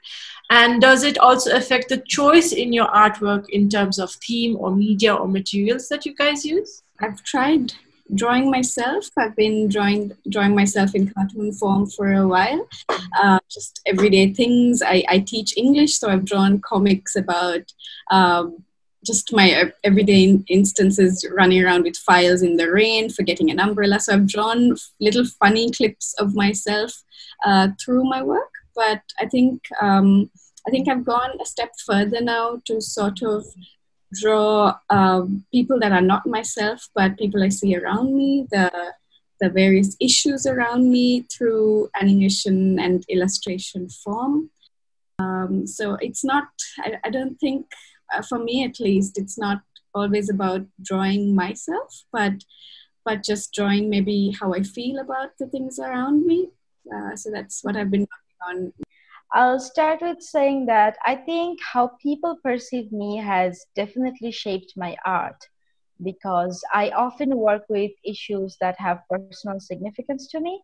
And I always work with words that people have said to me mostly that have either hurt me or made me feel nice. That is a very strong point of where my inspiration comes from, I think. So when I do my arts, definitely others' perceptions has shaped it. For example, I have a very favorite painting where I have drawn myself naked holding my cat. And it has speech bubbles all around it, where it has things people have said to me, questioned me about my sexuality, about my religious beliefs, and about my body, about everything really. Just question my self confidence into who I am. So I have drawn this painting as a way to let everyone see and reassure myself that I don't have to worry about what they think about me. It cannot touch me. It's just stuck in their bubbles because their thoughts are stuck in a bubble still. So, just like that, I think it's not that I always draw the negative things that people say to me. Sometimes I do that to let out the negative energy inside me. But I have also drawn plenty of things that have made me feel so beautiful. I thought the only way to cope with it is to just put it on a paper, as dramatic as it sounds. um, and I guess um, how people perceive me because of this. Um, yes, the answer to that would also be yes, because I have drawn things in the past that, like I said just a while before, the inspiration comes from what people say to me.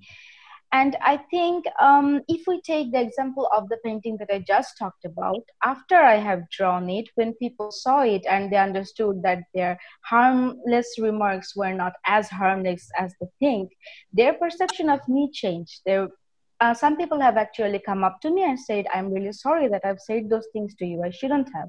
And I'm glad that you brought it to my attention. So I think by doing this painting, not only have I reassured myself, but people have also started seeing me in a new light. Have you ever been through an instance where you were forced to rethink the perception of yourself in women's bodies?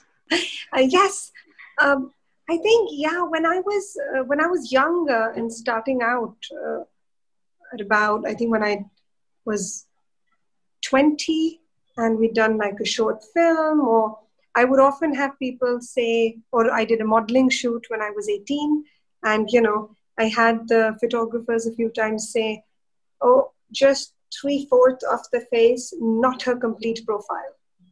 because she, she has a prominent nose. So at the age of 18, you're a bit like, uh, you, you don't know. So I think when you're that young, uh, again, there's nothing right or wrong about your own features. But yes, when a third person is telling you only photograph a certain way, then you start thinking, oh, really? Because you've never thought about it. So I think that is when you start thinking. And I was never, I was always very slim. And so I never had um, bodily, um, I wasn't uh, ever, ever thought about it because I was, in fact, just very slim and always into dancing and theater. And so those things never came my way. But only when I was older, eh, with the, screen, a few times people said, Oh, your right side and then your left. Until today, I don't know which side because it was never my focus. And a lot of people learn the art of uh, where the light should hit their face and where which angle they look prettier from. But I never quite understood that. And it's only when you hear these things, I think slowly, slowly you do doubt. Oh, oh maybe I'm sitting on my right oh, maybe I'm sitting on your lap. But I, I've always tried to not let it affect me so much. And that's why I'm still a little, you know, um, I never got uh, affected that uh, badly compared to a lot of actors and stuff. But it's only instances like this when someone has said it that you do end up thinking. Um, I definitely think there have been a lot of instances where you start to really look at who you are to and what what does it mean to be a woman? Because i remember as uh like when i was a lot when i was really small i was always very tomboyish very athletic you know always on the running team things like that and very flat chested and so i remember that you know uh, we'd go trekking with my father things like that and they'd go oh, uh, oh, you have a son and a daughter because I'm with my sister. She's older than me. So, oh, you're with your son and your daughter because, you know, I was tomboyish if I was wearing a cap or something. And then you start to question, like, what does it mm-hmm. mean really to be a woman? Is it because I'm wearing like a t shirt and some shorts that I look like a little boy? And then, you know, I hit puberty and then my breasts come and all of a sudden you can't really do the things that you were doing when you were younger because exactly. your body has changed. And then and then also the way people start perceiving you is so different. So you know your own perception of you changes as mm. well because before you're this young tomboyish kind of you know free spirited. And then you have this restriction all of a sudden because you have breasts you you you have a, a curve you have anything. And it really changes the way you behave and the way I think you look at yourself also. Because for me personally, it really did. From I, you know, I stopped running or being on the running team. I, I stopped swimming as much, and I was swim. I really stopped swimming because I felt, you know, oh, it's I'm ashamed almost of now that I have, you know, prominent breasts, like a figure that is more feminine in certain ways, mm-hmm. and it really changes the way you look at yourself. But as you get older, you realize it's just natural and then you learn to adapt to mm. accepting your own body over time right I would like to jump in and comment on just sort of expand on what Michelle said and look at how how that idea of body image and puberty and change and how people view women, how that is um, sort of expressed through art. Something that I've become more aware about and I've tried to explore through my art and my animation is that I've um, consciously tried not to make my characters curvy. Like I said, I've tried to make my characters a little darker skin to represent who they really are. And at the same time, I've um, tried not to mold these perfect curvy figures. They're just, mm. and you know, I've been um, just uh, I've, tried to have my my clay the my my thumbprints on them and just make them very rough and almost true to life and more relatable.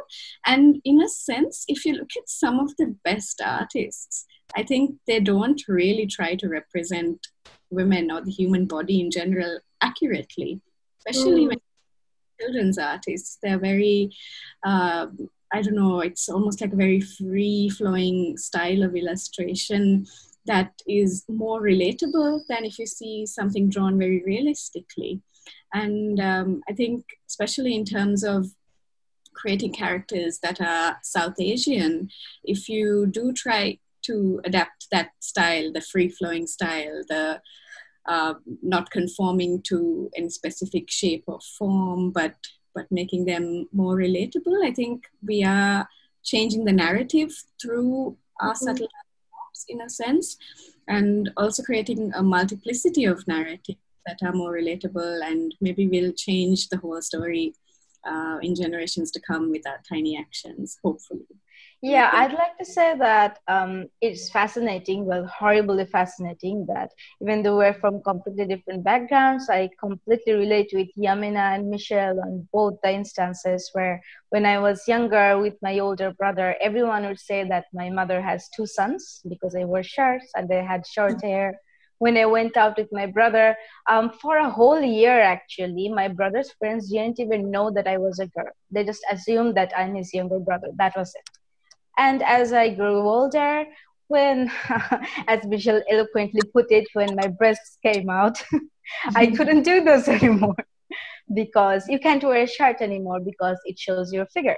You can't go out to play with the boys because they'll see your hips. They're curvier now. Mm-hmm. And I think it's just um, there are so many women who goes to the same thing and it's not talked about enough. I know about my aunt who was an excellent sportswoman in school, but she had to stop because her body was changing and the family didn't allow it anymore. And just like Yamina said, when little things can change your perception about your body, which was your original question. When I was in school, I heard my friend and my other friend talking about how if I went on the stage to dance, the stage would break because I was overweight. They didn't know that I overheard it. And that mm-hmm. one sentence actually um, changed my whole perception of who I was, how much weight I had. Suddenly, I felt like I had to step lightly. Even to this day, when I go to a wedding and the bride and groom invite me up to take photos with them, the first thing I think is, where should I step? What if the stage breaks? That would be embarrassing. This thing that happened to you, did it affect your art as well?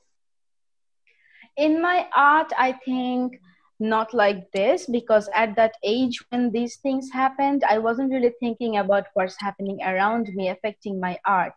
Um, if you're talking about the change of perception in art, that was actually a positive one. After I found all the curvier and inclusive models on Instagram, that has drastically changed how I see myself and how I draw myself. So that was a wonderful thing. When I draw myself now, I don't try to slim myself down or give fuller hair. I just draw it as it is because I have gotten that confidence from their accounts, from the influencers that I can be pretty however I am. Thank you. So, um, about a year ago, I got together with a few creating heroines artists, which also includes Michelle, and we started this thing called Virangana Comics. We actually started it for fun. How and one of our first issues was on self-love. So one of the cues. So every all the artists, we had eight, eight women artists. They created this thing, comics about uh, self-love, where some were talking about their mothers, some were talking more metaphysical things. Me, I was talking about, for instance, I was talking about loving myself you know from my own self not having somebody to love me mm. in that, and it actually influenced a lot of people and people came to us and said oh you know it makes me love myself or it supports me and they said that we were inspirational as women and as artists in that regard i wanted to ask all of you um, what as artists and as women and as human beings what or who supports your uh, self perceptions of your own body images? I'd have to say my family that comes first. Um, for me, self love was a very tricky road and always an uphill battle. Even now, I have days when I struggle to love myself as I am. But even when I did not believe in myself and did not love myself, even when I hated to look in the mirror, my family has always loved me even on days when I actually wouldn't want to look at myself, my, my family said, You're the most beautiful girl ever. And they actually believed it. They said it with conviction.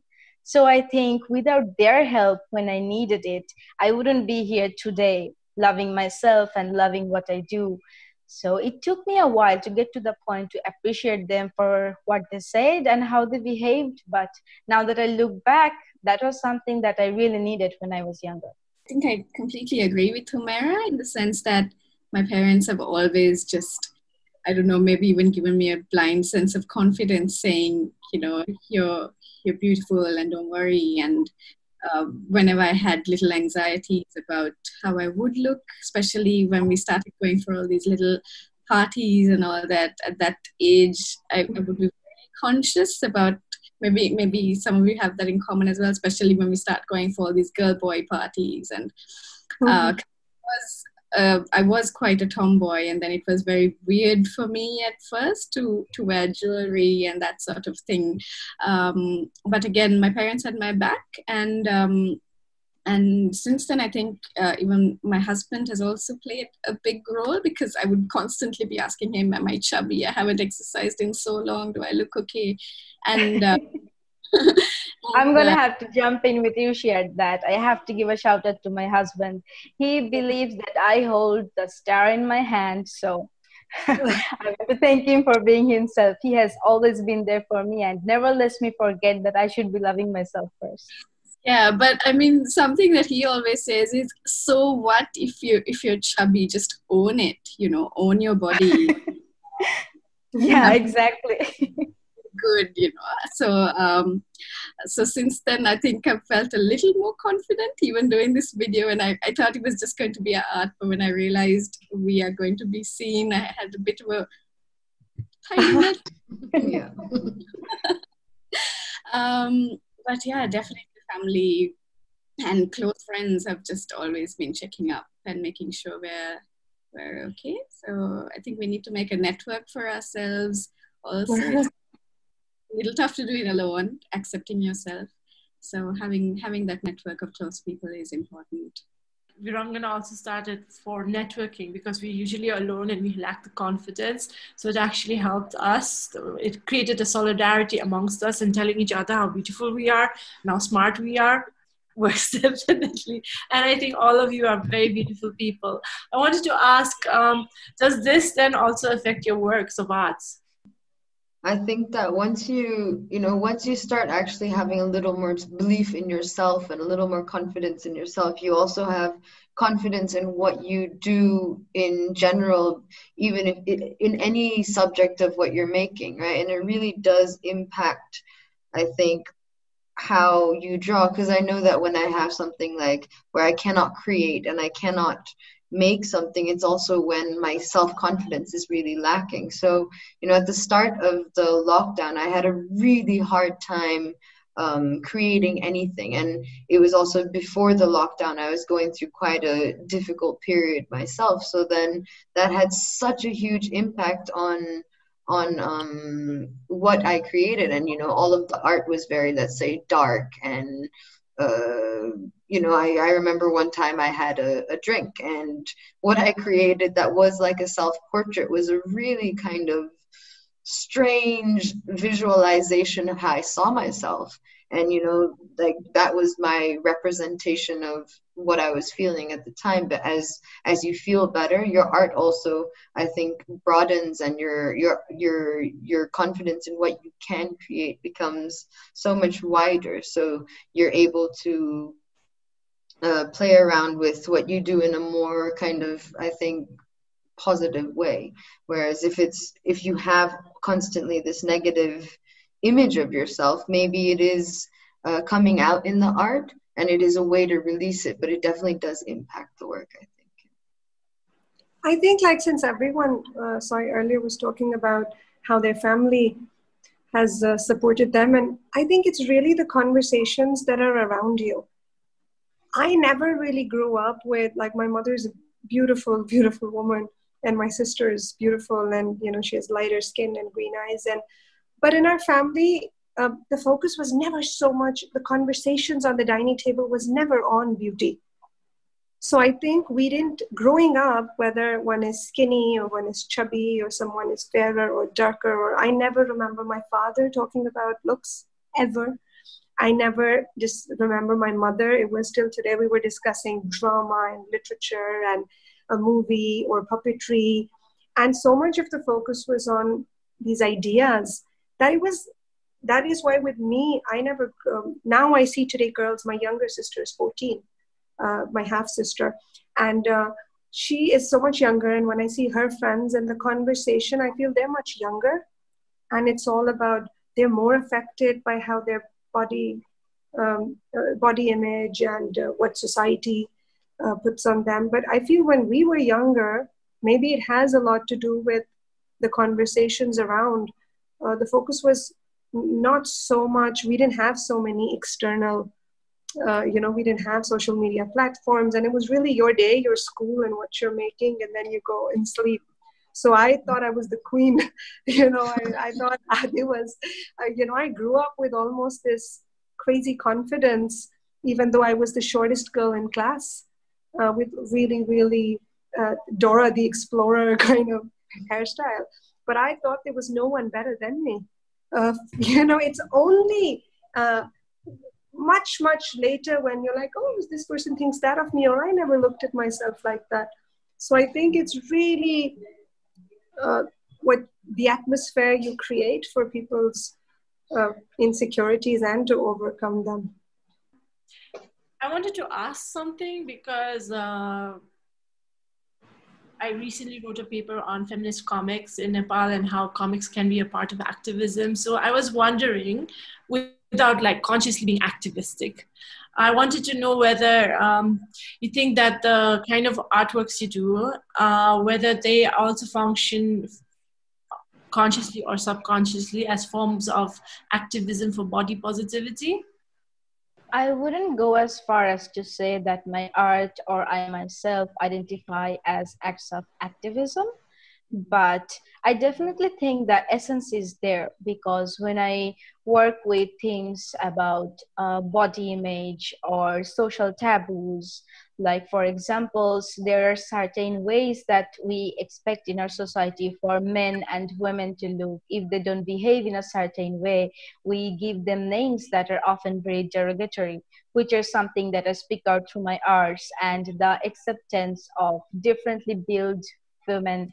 Um, so when i draw these things i wouldn't say i'm doing it from the sense of activism just to open people's eyes to these issues. I do them because they're close to my heart. But by doing these and opening them to viewers, I think at least subtly it is influencing people to be more accepting because you don't always have to shout from the rooftop about an issue. You keep showing something to people, you keep normalizing something, no matter how slowly and steadily, it does become normalized so i think even though the sense of activism is there i wouldn't be feel comfortable calling myself an activist but i definitely want to keep doing it and nudge the society in the right way possible I am, in addition to being an illustrator and animator, my academic background is in English studies, and I and I've been teaching English at university for the last couple of years. Um, so I feel like um, through both these things, through my art and through uh, the the education aspect, I've been trying again, like Humayra said, not in a bold way. Maybe that comes from my sort of introverted personality that um, I look at people who are uh, the shouty from the rooftop kind of activists and I admire them and I'm almost jealous of them and I wish I could uh, speak out like them sometimes. But again, um, we are changing, I think, through our small work, through little things in education and through our art. Um, I feel like each step is a different because I've had people come up to me and said, "Oh my gosh, you you do you uh, you're an artist for a living. How how does that work? You don't have to be, you know, you don't have to be in a conventional job and you're still doing okay. You're paying your bills and you're surviving. So I mean, I think just putting our out, art out there is also people re- like it's a realization for some people to to see being an artist is is a real job as well. So, uh, in a sense, that has been important. It has been challenging stereotypes about skin color, challenging stereotypes about women and certain professionals, and um, and I think uh, and profession and I mean talking about professionals, I think I'm also questioning myself because. Um, in the sense that um, in, in the way that people perceive artists as professionals uh, by seeing my work, even though I'm not drawing myself necessarily. uh, or showing my body. Um, I think my my body of work, in a sense, um, does speak um, in terms of that. Yeah, I wouldn't call it again like um, Irushi and Amara, like uh, uh, that I'm an activist, but I do think that, uh, especially in puppetry, uh, I think puppetry has uh, what I noticed that puppetry has such a power because already uh, it is an inanimate object, so people don't have a preconceived idea. You can have a crocodile, you can have a mouse, you can have a blue person, a purple person. And I feel just through that, you're actually um, already giving the idea of diversity and acceptance to children. So I think a lot of um, my work with puppetry um, really, I think, helped me also. You know, you you create so many different characters and you become more accepting. And I think it's it's literally that subtle that you don't show a certain princess or a prince, or you just show diverse characters with different sizes and shapes and skin tones. Uh, we made, you know, this uh, there was a love story I did with a French woman, and both the puppets were made out of newspaper. So there was no, there is no skin color. And the audience was glued watching it. And then that makes you think that it's much more, it's the emotion, not how you look. So I think puppetry really, for me, uh, has really worked in uh, making people more acceptable of differences. So it's really that small, but the more you show them, uh, I think that creates the openness.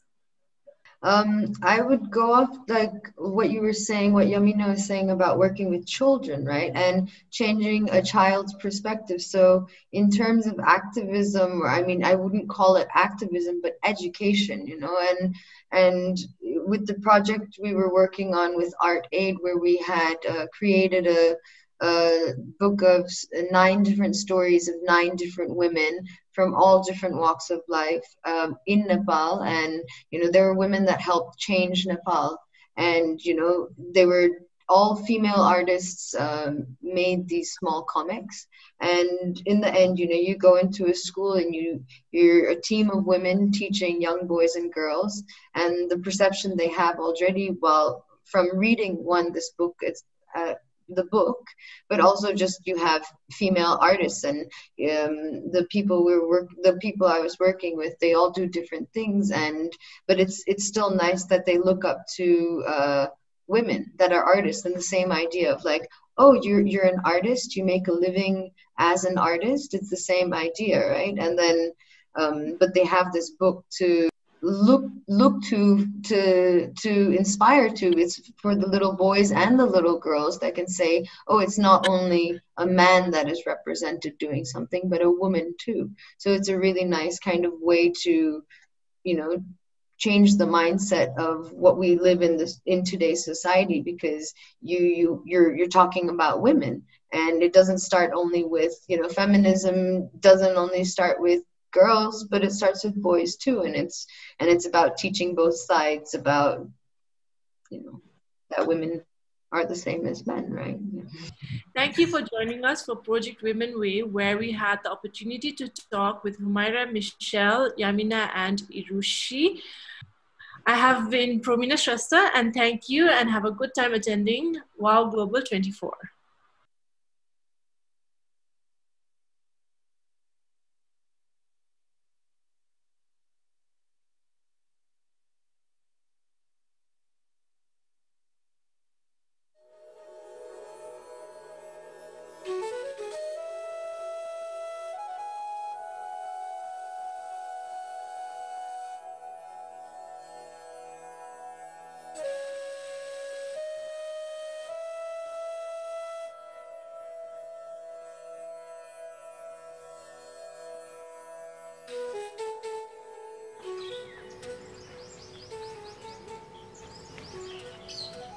My village life will never get out of my mind.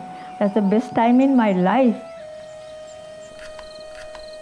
My grandma, who was not literate at all, just a beautiful villager, she used to put me up about 4 o'clock in the morning. We walk into the forest and the, the beautiful bird calls, porcupine and rabbit and birds of all kinds. It's like a book.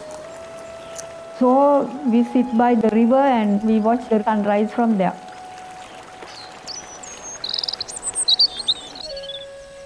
Beautiful memories that never fade from my mind. And that is the inspiration to all my books. Quite a lot of monkeys used to be very familiar in our surroundings. We had a dill tree in our garden. They used to come and sit there and eat all the raw dill. Uh, one day, a monkey came down to the ground, walked into my grandmother's kitchen, picked up a mirror, looking at his face like this, he went up. And another thing was, in our village, there were no umbrellas. That is the truth. And people in the rain used to always carry a banana leaf or a palladium leaf or something like that. They never carry umbrellas. I was very fascinated to see this sight.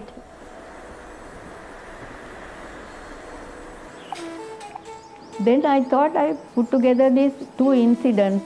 Somehow this monkey story came together in my mind and I wrote this umbrella thief story.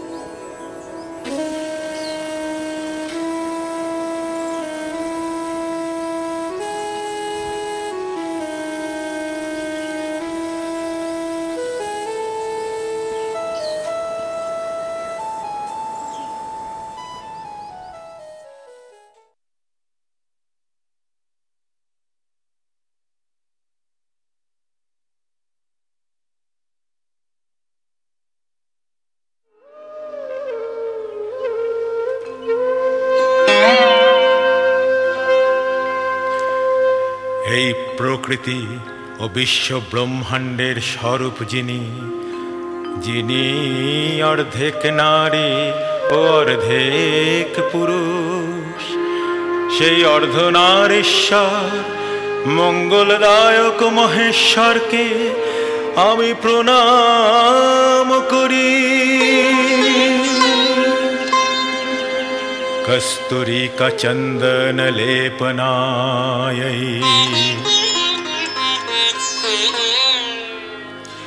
श्मशानभस्माङ्गविलेपनाय सङ्कुण्डलायै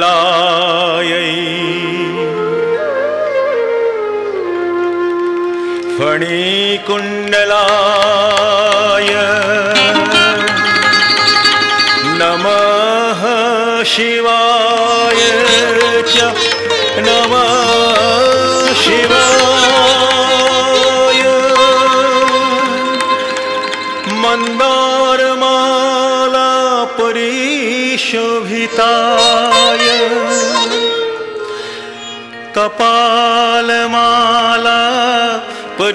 परिशोभिताय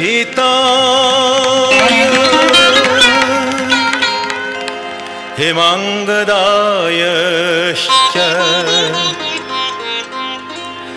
फनाङ्गदाय। नमः शिवाय। च नमः शिवाय।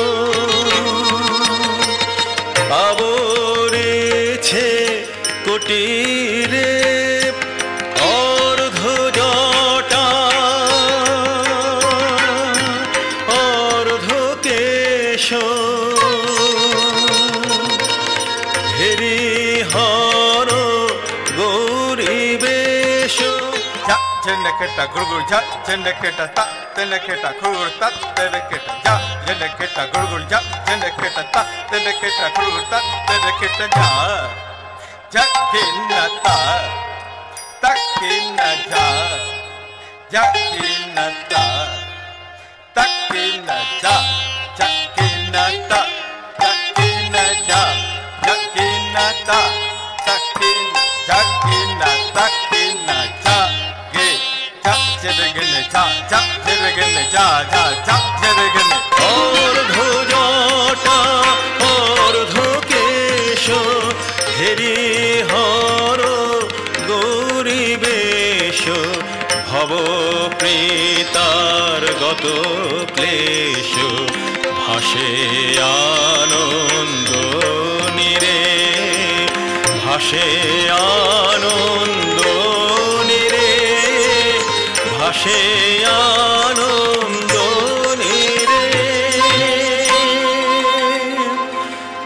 अचिंत्य रूपचरितं वंदेतं शिवं शंकरं वंदेतं शिवं शंकरं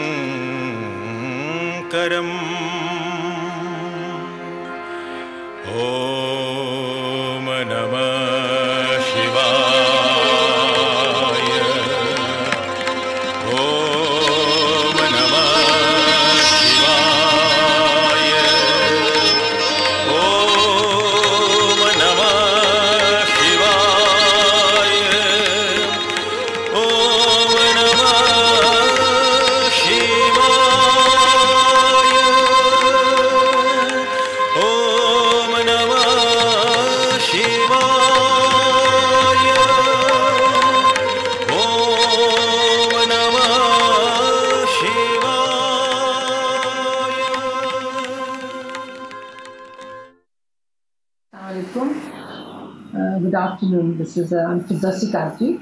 I work at the International Center for Diarrheal Disease Research.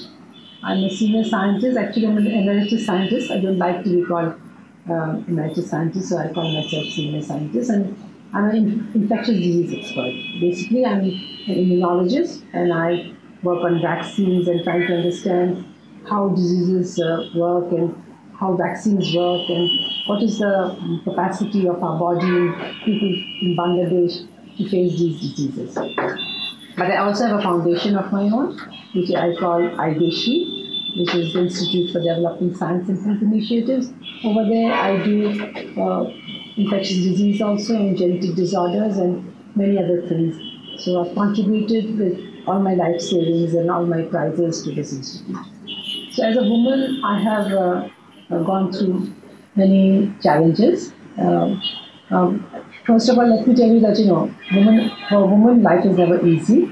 Uh, it's a, a stereotyping that we fall into, and Bangladesh is no exception. Maybe it is even higher in Bangladesh to be stereotyped. And to come out of the stereotype is difficult, but I had a, a very big support in my life. It was my grandmother who made us value ourselves very much as a woman.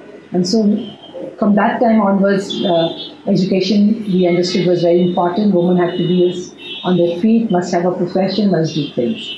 So uh, let me tell you that you know, um, although I had a lot of backing from my from people at home, but it's not so easy.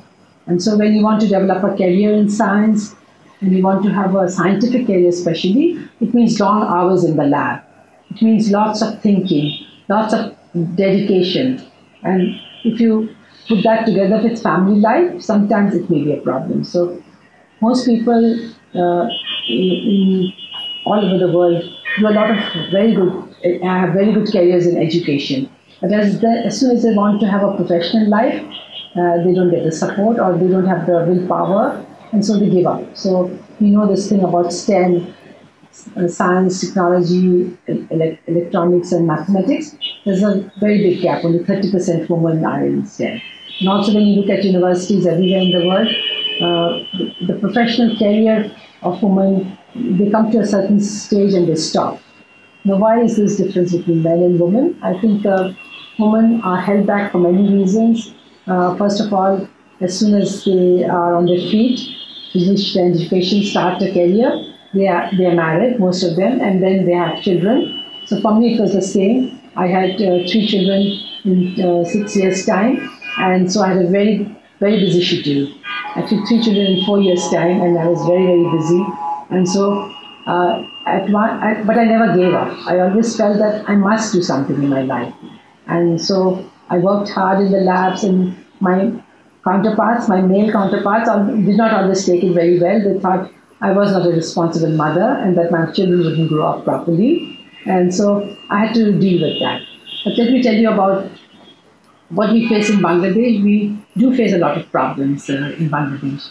Not all families accept women to stay long at work, not to give, because uh, it's traditional and it's still, even in modern times, people expect the woman to uh, be the role model at home as a mother and not as a as the earning member in the family. So that seems a dilemma. And so I can tell you if I take the example of what I'm doing now, I'm basically a person who worked on diarrhea and diarrheal diseases, but uh, as we had COVID-19 coming up in Bangladesh, I sensed that you know there was something that I could do, and from that time onwards, I changed my complete mode of work, and I'm working on COVID-19, and I work a lot in my foundation, and um, I've tried to help set up a lot of testing in Bangladesh. But what I noticed was that. Uh, there were lots of people working with me everywhere, but the, recept- the response I got from my female uh, people at work was uh, very disappointing. I have only one woman who works with me.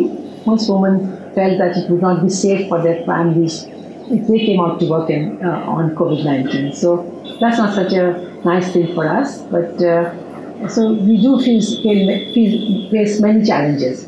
Bangladesh, uh, we know, is very successful because all the women are out doing so many things, working at different levels in the garment factories in the field. But when it comes to a higher level, uh, you you see that the, there is uh, not an equality in sharing, and so um, the the trend is still that uh, women should stay back, do more of the family tending, and so I think uh, we do have a challenge now, but I think that uh, as my as being a role model for women around me um, in science, I feel that it's my responsibility to tell the women, help them, tell them ways to do things. They can do work a lot during the office time, and then they can go home and work from home if that is needed. But I also have to tell my men for, who work with me how to how to treat women, how to think of me as a woman and also as a leader. And that is, I think, an important thing because then they take it down into generations. So with that, I say I'm very happy to be a woman. I wouldn't have liked to be anything else. Thank you very much. Hello everybody, my name is Anoushey Ashraf and I'm making this video all the way from Karachi, Pakistan. I've been very excited to be associated with the WOW Festival in Karachi and then later when it took place in London this year, I was there and uh, it was such an amazing feeling and i'm so proud to be a part of this uh, this group of wonderful women from around the world um, once i got back from london right after this amazing wow experience uh, you know i came down to a country where the pandemic was on the rise where people were confused whether we should go into lockdown or not because uh, can we really afford to go down uh, like shut down entirely was the question uh, there's too many people over here who survive on daily wages, families that need support on a regular day, uh, you know, on a regular basis. So it was a little hard for me to to to make a decision as to whether I should go into complete isolation. Uh, but I did. I tried to be responsible, and once my isolation after my trip to London was over, I took it upon myself to uh, just start helping people in any and every capacity that I can and it kept me busy through the lockdown. Uh, so I was getting these ration bags ready, uh, which provided food for families of up to five uh, for like a whole month. Uh, we distributed them around the city to 1,500 homes. So initially that kept me busy, and once that was over, I decided to uh, get to the animal shelter and I and I adopted five beautiful animals. One of them is right here making a lot of noise off the camera. So um, yeah, so my animals are keeping me busy. I'm taking care of them. I'm, I'm providing for them. I'm walking them. So they kind of keep me, you know, I've been trying to do all the things that I had hadn't had the opportunity to do when things were regular and we were all just so busy with our lives. Uh, I'm a TV presenter and I'm a radio jockey, so uh, one of my jobs is also to keep people motivated through the pandemic. Luckily for me, I had work. I was recording from home, but I had to get my show ready on a daily basis, which uh, was kind of good for me in a way because I knew that I still had a job and I was doing something productive. Um, However, I happen to speak to a lot of women who are married with children, how they're coping. I try to help them out. Uh, you know, we all try to figure out a routine together. Uh, we all go live on Instagram um, once in the evening on my Instagram to chit chat about how they're coping and managing. Uh, we spoke a lot about mental health and how people are coping in terms of the pandemic and their anxiety or their depression that may be kicking in at, kicking in in at this point. So um, yeah and just made a regular routine and told myself that you know this year is going to be a lot about uh, self-reflection and getting to know myself and taking it for what it is and just trying to spend more time with myself um, and discovering who I am. So I've taken up an art class online. Uh, I have a, I, I am trying to, you know, like I said, I adopted a bunch of animals. I made a room outside my uh, house so I could make it into like a little workstation, put a lot of plants in there. Now I sit there working all day and I have a little meditation corner as well. So, you know, I mean, different parts of my house feel like different places. So I feel like, hmm, this is my office, this is my workout, that's my meditation room, this uh, the garden is where the animals are, and that's how I'm going to play with them. So I've kind of divided my day that way. And uh, speaking to a lot of other single girls, I've been in touch with them constantly because of my radio show and because I go live on Instagram every other day. I mean, we've all been hanging on to each other for support, and I think that's been our greatest strength, to be honest, uh, to see each other through. You know, how we, I mean, these groups of girls online, on Facebook, on WhatsApp, where we're just sharing articles, um, going online and chit chatting, catching up with each other once a day on Zoom, having these video calls, and just keeping us as motivated till things settle down. So, yeah, this is what's been keeping me busy. This has been my routine and I'm thankful that uh, you know I've had the opportunity to help people in the process as well, and um, I hope I can continue to do so and continue to spread positivity through my radio show and my shows on digital media, uh, even though it's challenging sometimes. But I try and do my best, and I get a lot of love and affection in return, so it's kept me going. Uh, thank you for hearing me out, and um, I hope to hear stories from you ladies from around the world. And I hope to see you guys uh, again in person soon, inshallah. Thank you. আমি miss Joyita পলি, transgender কমিউনিটির অধিকার নিয়ে কাজ করি এবং দিনের আলো হিজরা সংঘ রাজশাহীর জয়েন্ট সেক্রেটারি, পাশাপাশি একজন ক্ষুদ্র নারী উদ্যোক্তা। ছোট থেকে পর্যন্ত আমার পরিবারের সঙ্গে আমার বেড়ে ওঠা পরিবারের সঙ্গে আমি আছি, কিন্তু পরিবারের সাথে থাকতে থাকতে ছোট থেকে এ পর্যন্ত আমাকে অনেক অবহেলার শিকার হতে হয়েছে, অনেক নির্যাতনের শিকার হতে হয়েছে, তারপরও পরিবারের সঙ্গে আছি। আমি ছোট থেকেই মানে আমার ভিতরে একটা ইয়ে ছিল যে আমি পরিবার যুদ্ধ হব না। পরিবার থেকে আমাকে যতই লাঞ্ছনা বঞ্চনা দেখ, আমি পরিবারের আর পাঁচজনের সঙ্গেই থাকব। পরিবারের সদস্যদের সাথে থাকব। সেই হিসাবেই পরিবারের সঙ্গে থাকা। তো আমার হচ্ছে, ছোট থেকে আমি ভাবতাম যে আমাদের যে ট্রান্সজেন্ডার কমিউনিটি আছে, তারা তো সমাজ, রাষ্ট্র, পরিবার, পরি সব কিছু থেকেই বঞ্চনার শিকার, অবহেলিত। আমি তাদের জন্য কোনো কাজ করতে, অধিকার নিয়ে কাজ করতে চাই। তো দু দুই সালে দু দুই সাল থেকেই আর কি এই কমিউনিটির রাইটস নিয়ে কাজ করার সুযোগ পেয়েছি। প্রথমে ভলেন্টিয়ার ছিলাম। ভলেন্টিয়ার থেকে রাজশাহীতে যে দিনাল হৃদয় সংঘ সেই হিজরা সঙ্গে নির্বাহী পরিষদে নির্বাচিত হই। সেই থেকে হিজরা কমিউনিটি রাইটস নিয়ে কাজ করছি। আর এইখানে কাজ করতে গিয়ে অনেক বাধার সম্মুখীন হয়েছি। পরিবার থেকে অনেকে বলে, তুমি কেন ট্রান্সজেন্ডার কমিউনিটি নিয়ে কাজ করবা? পরিবারে থাকতে পারবা না, পরিবারে রাখব না। এবং পরিবারও রাখতে চায় না। সমাজের বিভিন্ন জায়গায় হেয় প্রতিপন্ন হতে হয়েছে। তারপরেও তাদের সঙ্গে আছি। আর পাশাপাশি আমি এক সোশ্যাল ওয়ার্কেও কাজ করি, প্রতিবন্ধী নিয়ে কাজ করি। সমাজের যে অবহেলিত নারীরা আছে, তাদের নিয়ে কাজ করি। হিজড়াদের কর্মসংস্থানের জন্য কাজ করি।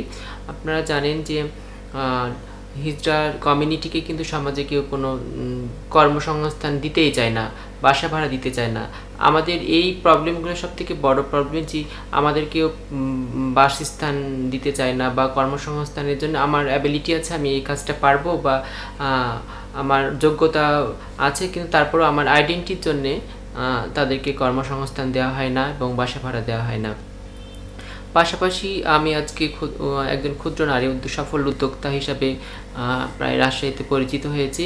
এই জায়গাটায় যেতে আমার অনেক চ্যালেঞ্জিং অনেক চ্যালেঞ্জিং পার করতে হয়েছে, অনেক প্রতিকূল অবস্থায় পার করতে হয়েছে। প্রথম স্টেপে যেহেতু আমি আমার বুটিক্সের বিজনেস সেই বিজনেসে আমার কাছে কেউ কোনো পণ্যই নিতে চাইতো না যে ট্রান্সজেন্ডার কমিউনিটির কাছে পণ্য নেব। বা কেউ আমার আমার শোরুমে বা আমার, আমি যখন কোথাও মেলা দিতে গেছি সেখানেও আমার আমার কাছে ক্রেতা একেবারেই কম ছিল। তবুও আমি মানে ধৈর্য হারাইনি। নিজের ভিতরে একটা কনফিডেন্স ছিল যে একদিন জয় আসবেই। ইনিশাল্লাহ আমি এখন অনেক ভালো আছি, আমার প্রতিষ্ঠানটা অনেক ভালো আছে। আমার প্রতিষ্ঠানে ট্রান্সজেন্ডার কমিউনিটি এবং সমাজের অবহেলিত প্রায় চারশো জন ওখানে কর্মসংস্থানের ব্যবস্থা হয়েছে। তারা এখনও কর্ম করছে আমার প্রতিষ্ঠানে। আর বলতে চাই এখনও কিছু অনেক বাধা আছে। যদি বলি বাধাগুলো কি পরিবারও কিন্তু এখনও অনেক ট্রান্সজেন্ডার কমিউনিটিকে পরিবারে রাখতে চাচ্ছে না। এটা একটা বড় বাধা। সমাজ এখনও সেভাবে অ্যাকসেপ্ট করেনি কমিউনিটিকে এবং রাষ্ট্রীয় দু হাজার তেরো সালে রাষ্ট্রীয় ট্রান্সজেন্ডার কমিউনিটি থার্ড জেন্ডার হিসাবে স্বীকৃতি একটা, স্বীকৃতি গ্রেজেট পাশ করেছে, কিন্তু এখন পর্যন্ত কোনো নীতিমালা, কোনো আইন পাশ করেনি সংসদে। তাদের আমাদের কি ঝোলাই রাখছে। এটা একটা বড় সমস্যা। আমাদের জন্য কোনো পণ্য ব্যবস্থা করেনি সরকার। চাকরির কোনো কোটা নাই। আমি চাই যে ও মানে অতি সাধ্য যদি এগুলো যদি ব্যবস্থা করে, তাহলে কমিউনিটি সমাজ যে মূল স্রোতধারায় খুব সহজেই ফিরে যেতে পারবে। সরকারের কাছে এটা আমার চাওয়া যে তাদের জন্য প্রত্যেকটা জেলায় যেন পণ্য বসানোর ব্যবস্থা সৃষ্টি করে এবং কর্ম তার নিজ নিজ যোগ্যতা অনুযায়ী যেন তাদেরকে কর্মসংস্থানের ব্যবস্থা করে। পাশাপাশি আমার মতো অনেকেই উদ্যোগী হওয়ার চেষ্টা করছে কিন্তু সরকার থেকে কোনো ধরনের ঋণ তারা পাচ্ছে না। যদি তারা সরকার থেকে কোনো অল্প সুদে বা সহজ সত্যি যদি কোনো ঋণ প্রদান করা হতো তাহলে এই ট্রান্সজেন্ডার কমিউনিটি তারা উদ্যোগী হতো এবং উদ্যোক্তা হয়ে সমাজের সকল শ্রেণির মানুষের হাতে হাত মিলিয়ে বসবাস করতে পারত এবং তাদের একটা কর্মসংস্থানের সৃষ্টি হতো যেটা দেখে সারা বিশ্ব, সারা বাংলাদেশ একটা রোল মডেল তৈরি হতো যে ট্রান্সজেন্ডার কমিউনিটির তাদের প্রতি যে ভ্রান্ত ধারণা ছিল সেটা অবশ্যই মানুষের মধ্যে থেকে দূর হবে, আমার কাছে মনে হয়।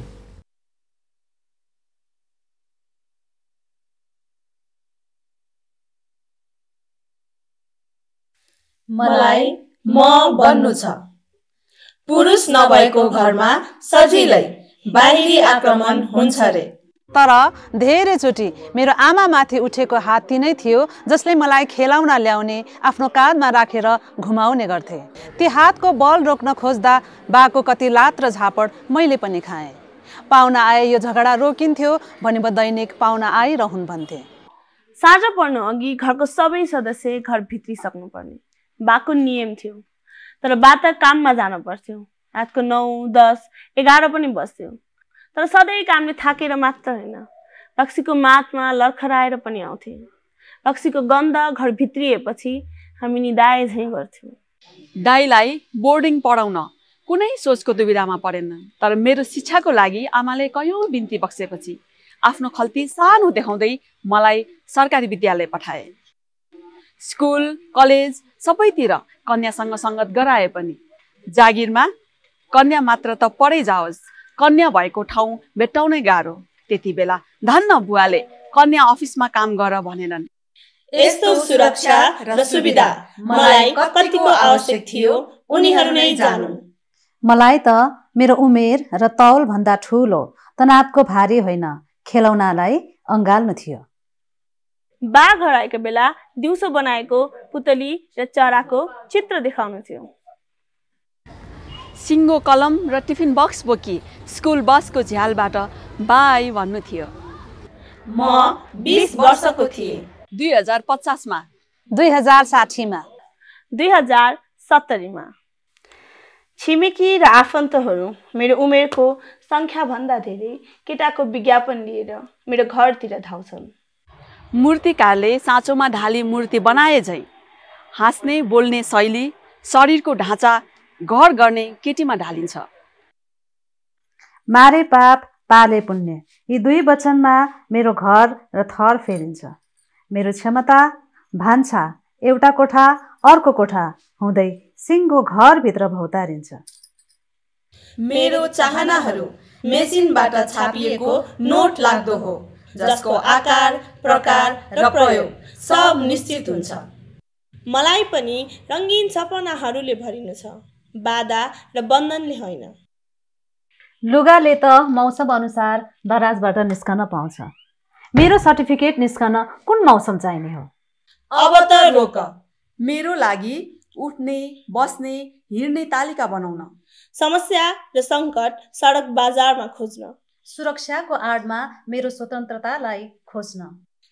मेरो जीवनमा तिम्रो भन्दा पहिले र धेरै अधिकार मेरो छ अनि मेरो हरेक सानो ठुलो सपना र स्वतन्त्रताले मलाई म बनाउँछ।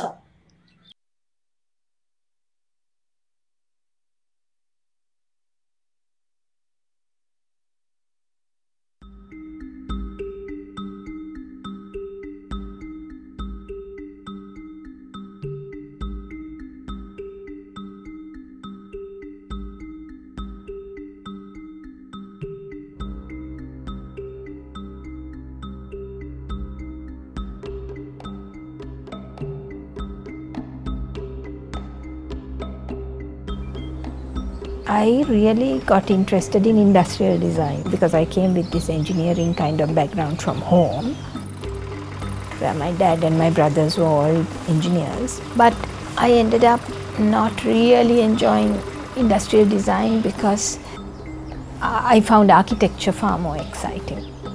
That's where architecture started. When I went to the UK and I came back, Mr. Bawa was sick the trust asked me at that point they had closed Mr. Bawa's office and they had a whole lot of drawings in their possessions. And I was given the task of sorting them out and trying to do the initial round of archiving for the drawings. While I was trying to set myself up as an architect which all happened from the back of my double cab at the time I didn't have an office. The Ena De Silva house is a beautiful house the reconstruction of it was a big realization of the value of this sort of space. And that made me look at other people who had done it and the scale and the location. Even if we preserved it where it was, it wouldn't have had the same qualities. The sounds would have changed, everything would have changed. So. Also some of the details and some of the beautiful way the materials work together. Today we have a whole other palette of materials. It was also of a certain time.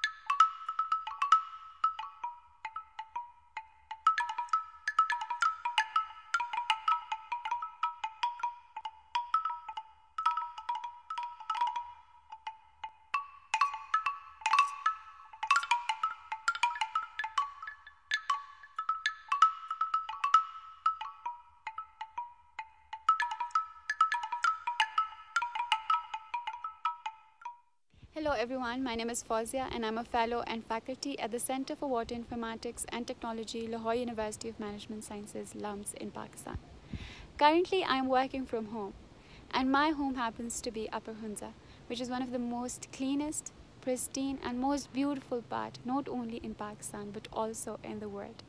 I therefore understand the importance of living in such an environment and leaving such an environment for our future generations to come as well as for our biodiversity on this planet. COVID 19 has emerged as a global issue that we've never had to face before.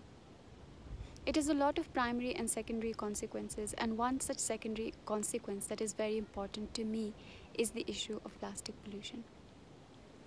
I understand that in order to protect ourselves and our loved ones, we need to wear masks, gloves, and use sanitizers that come in plastic bottle. Masks and gloves are either made of plastic or contain some amount of plastic in them. This means that if discarded improperly, they could end up living in this planet for a much, much longer time. It is therefore important that first of all, if we are going out, we try and use reusable and rewashable masks and gloves so that we do not end up throwing them or they don't become a single-use plastic pollution source. According to a study by WWF, if only 1% of the mask that we're using globally is discarded improperly today, we could end up having 1 million masks in the ocean. Now this is a huge problem because each mask weighs around 4 grams and that means that we could end up having 40 million grams of pollution in the form of masks in our ocean. That is going to have a greater consequence of, on life in the ocean, which is already suffering because of our inappropriate actions and our consumerism in this planet and, uh, and the way we throw plastic pollution in our environment. Now, what does pollution in the form of personal protective gears mean to me and to my region? First of all, we do not have a recycling plant. So even if the sanitizer bottles, the gloves and the masks happen to be recyclable, we're not going to have to be able to recycle them in our part of the world. So that is the first and foremost important thing to know. So of course the most important thing for us would be to at least have a recycling setup set up in this part of the world. Secondly, I don't think we had a lot of options as a purchaser, as a buyer, as a consumer in the form of what do we need to buy in order to protect our environment. Uh, there are some local organizations like KADO who've now trained women to stitch um, uh, fabric masks which are washable and therefore reusable. Um, some people might question um, its protection uh, against viruses, but I think it can still protect us from bacteria. So that's a good action, a good step that is being taken by KADO, which is run by women, and all the masks are being stitched by, by women. So it is very a very positive sign. So the takeaway from my little talk with you today is that we need action, both from the institutional side as well as from the individual side. Uh, first of all, our institutions need to have the right kind of policies those policies need to be implemented and each individual needs to take action towards protection of the environment. I hope that together we can save this planet and together we can fight this pandemic and the plastic pollution that it is causing. We all need to live responsibly. I hope that this has woken us up in terms of what we should and shouldn't do to protect our loved ones as well as our biodiversity and ecosystem. সকলকে জোহার গড়লাগি নমস্কার। আমি সারা মারান্ডি, বাংলাদেশের উত্তর পশ্চিমাঞ্চলের বৃহত্তর দিনাজপুর জেলার বিরামপুর উপজেলার একজন সাঁওতাল নারী। কাজের সুবাদে আমি পার্বতীপুর উপজেলার গ্রাম বিকাশ কেন্দ্রে সোশ্যাল ডেভেলপমেন্ট কর্মসূচির পরিচালক হিসেবে কাজ করছি। এরই সাথে আমি আমাদের ফাউন্ডেশন নামে একটি উন্নয়নমূলক সংস্থার ফাউন্ডার মেম্বার বাংলাদেশ আদিবাসী ফোরামের একজন সদস্য জাতীয় আদিবাসী পরিষদের সাথে কাজ করছি। তানাম হেরিটেজ নামে একটি প্রতিষ্ঠান রয়েছে যারা ঐতিহ্য নিয়ে কাজ করছে, তাদের উপদেষ্টা হিসেবে কাজ করছি। এতগুলি জায়গায় কাজ করছি, কিন্তু এই জায়গাটিতে আসা আমার আসলে একদিনই সম্ভব হয়নি। এই পর্যায়ে আসতে আমার অনেক চড়াই উত্তরায় পেরিয়েই আসতে হয়েছে। কারণ প্রথমত আমি একজন নারী এবং তারপর একজন আদিবাসী সাঁওতাল নারী। এর ফলে প্রতি পদে পদে আমাকে শুনতে হয়েছে, পেরোতে হয়েছে অনেক বাধা ও বিপত্তি। কারণ আদিবাসী সাঁওতাল বলতেই মানুষের মানসপটে একটি চেহারা ভেসে উঠে যে অর্ধনগ্ন কৃষ্ণবর্ণের মানুষগুলি মনে হয় যে গহীন জঙ্গলে তারা শিকারে যাচ্ছে। মনে হয় এরাই জীববৈচিত্র্যকে ধ্বংস করেছে।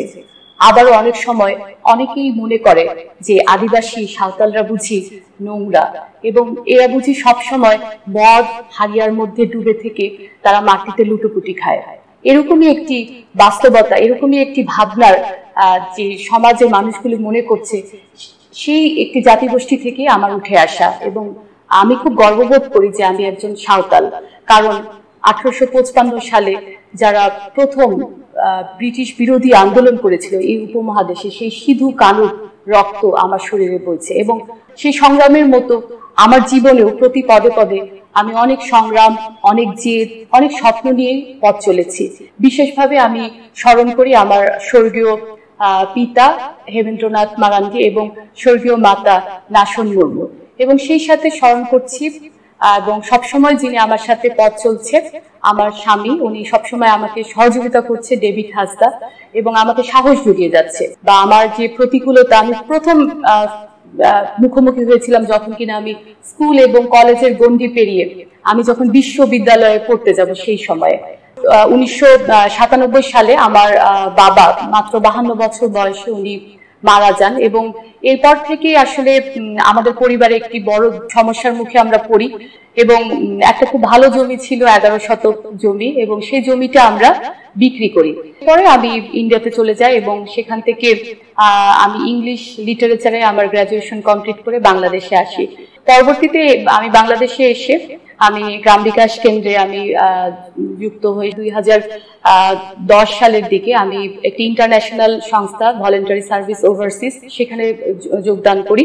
এর ফলে যেটি হয়েছিল বিশেষভাবে ঢাকায় যখন আমি ছিলাম ভিএসওতে সেই সময় আমার একটি বড় স্বপ্ন ছিল যে জাতীয় পর্যায়ে বা আন্তর্জাতিক পর্যায়ে যে সকল সংগঠনগুলি আদিবাসীদের নিয়ে কাজ করছে, তাদের সাথে কাজ করার তাদের সাথে যোগসূত্রতা গড়ে তোলার এবং যেটি সবচেয়ে মজার বিষয় ছিল যে দুই সালে আমি যখন বিএসও ত্যাগ করি সেই সময় আমি একটি বেশ মোটা টাকার অঙ্ক পাই। সময় আমরা যে জমিটা বিক্রি করেছিলাম আমার পড়াশোনার জন্য, সেই মালিক আমাদের কাছে আসে এবং উনি জানান যে উনি জমিটা বিক্রি করতে চান এবং আমাদের কাছে বিক্রি করতে চান। তো আমার মাকে যখন আমি বললাম, তো আমার মা খুবই খুশি হয়েছিল। এবং আমার কাছে এটা একটা রূপকথার মতো লাগছিল যে যে জমিটি কি আমরা মনে করছিলাম অনেকে মনে করছিল যে, নষ্ট করছি, কারণ সেই সময়গুলিতে আসলে মাকে অনেক সময় শুনতে হয়েছে যে, মেয়েদের পড়াশোনা করিয়ে কি হবে, কারণ একদিন তারা তো স্বামীর বাড়িতে চলে যাবে, তার থেকে বরং মেয়েদের বিয়ে দিয়ে দেওয়া ভালো। কিন্তু পরে যখন আমি মানে সেই সুযোগটা পেলাম, আসলে আমার খুবই আনন্দ হয়েছিল যে, আমি আবারও আমার বাবার সেই সম্পত্তিটি আমি আবার ফিরে পাই। এবং সেই উৎসাহ উদ্দীপনা নিয়ে এখনও আমি আমাদের আদিবাসী সমাজের জন্য আমি মনে করি যে কাজ করে যাব এবং সেটা আমার দায়িত্ব বলে মনে করি।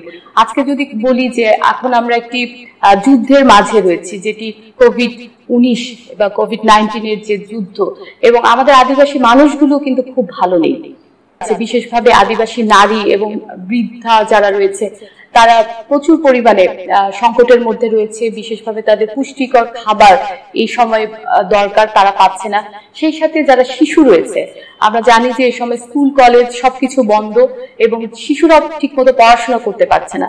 এবং আমি এরই সাথে আহ্বান করছি এই সময়, এই সংকটকালীন মুহূর্তে আমরা যে যার অবস্থান থেকে এই আদিবাসী মানুষগুলোর কাছে, এই প্রান্তিক মানুষগুলোর কাছে আমরা যেন এগিয়ে আসি।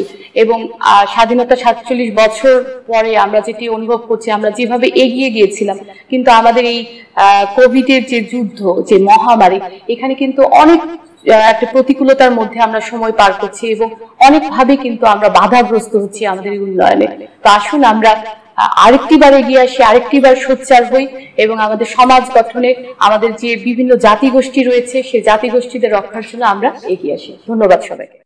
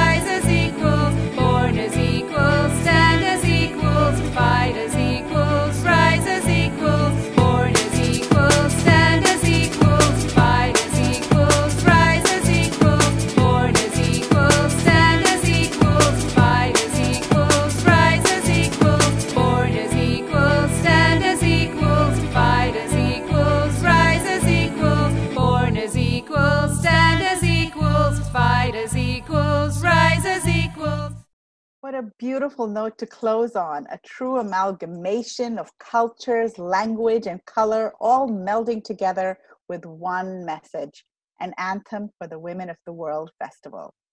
Hello again, and a huge thank you to everyone who's been watching the South Asia program at WOW Global 24. I would like to thank the WOW Foundation for bringing this festival together at this time of unprecedented strife and anxiety, but equally when the need for these conversations and art offerings is more critical than ever before.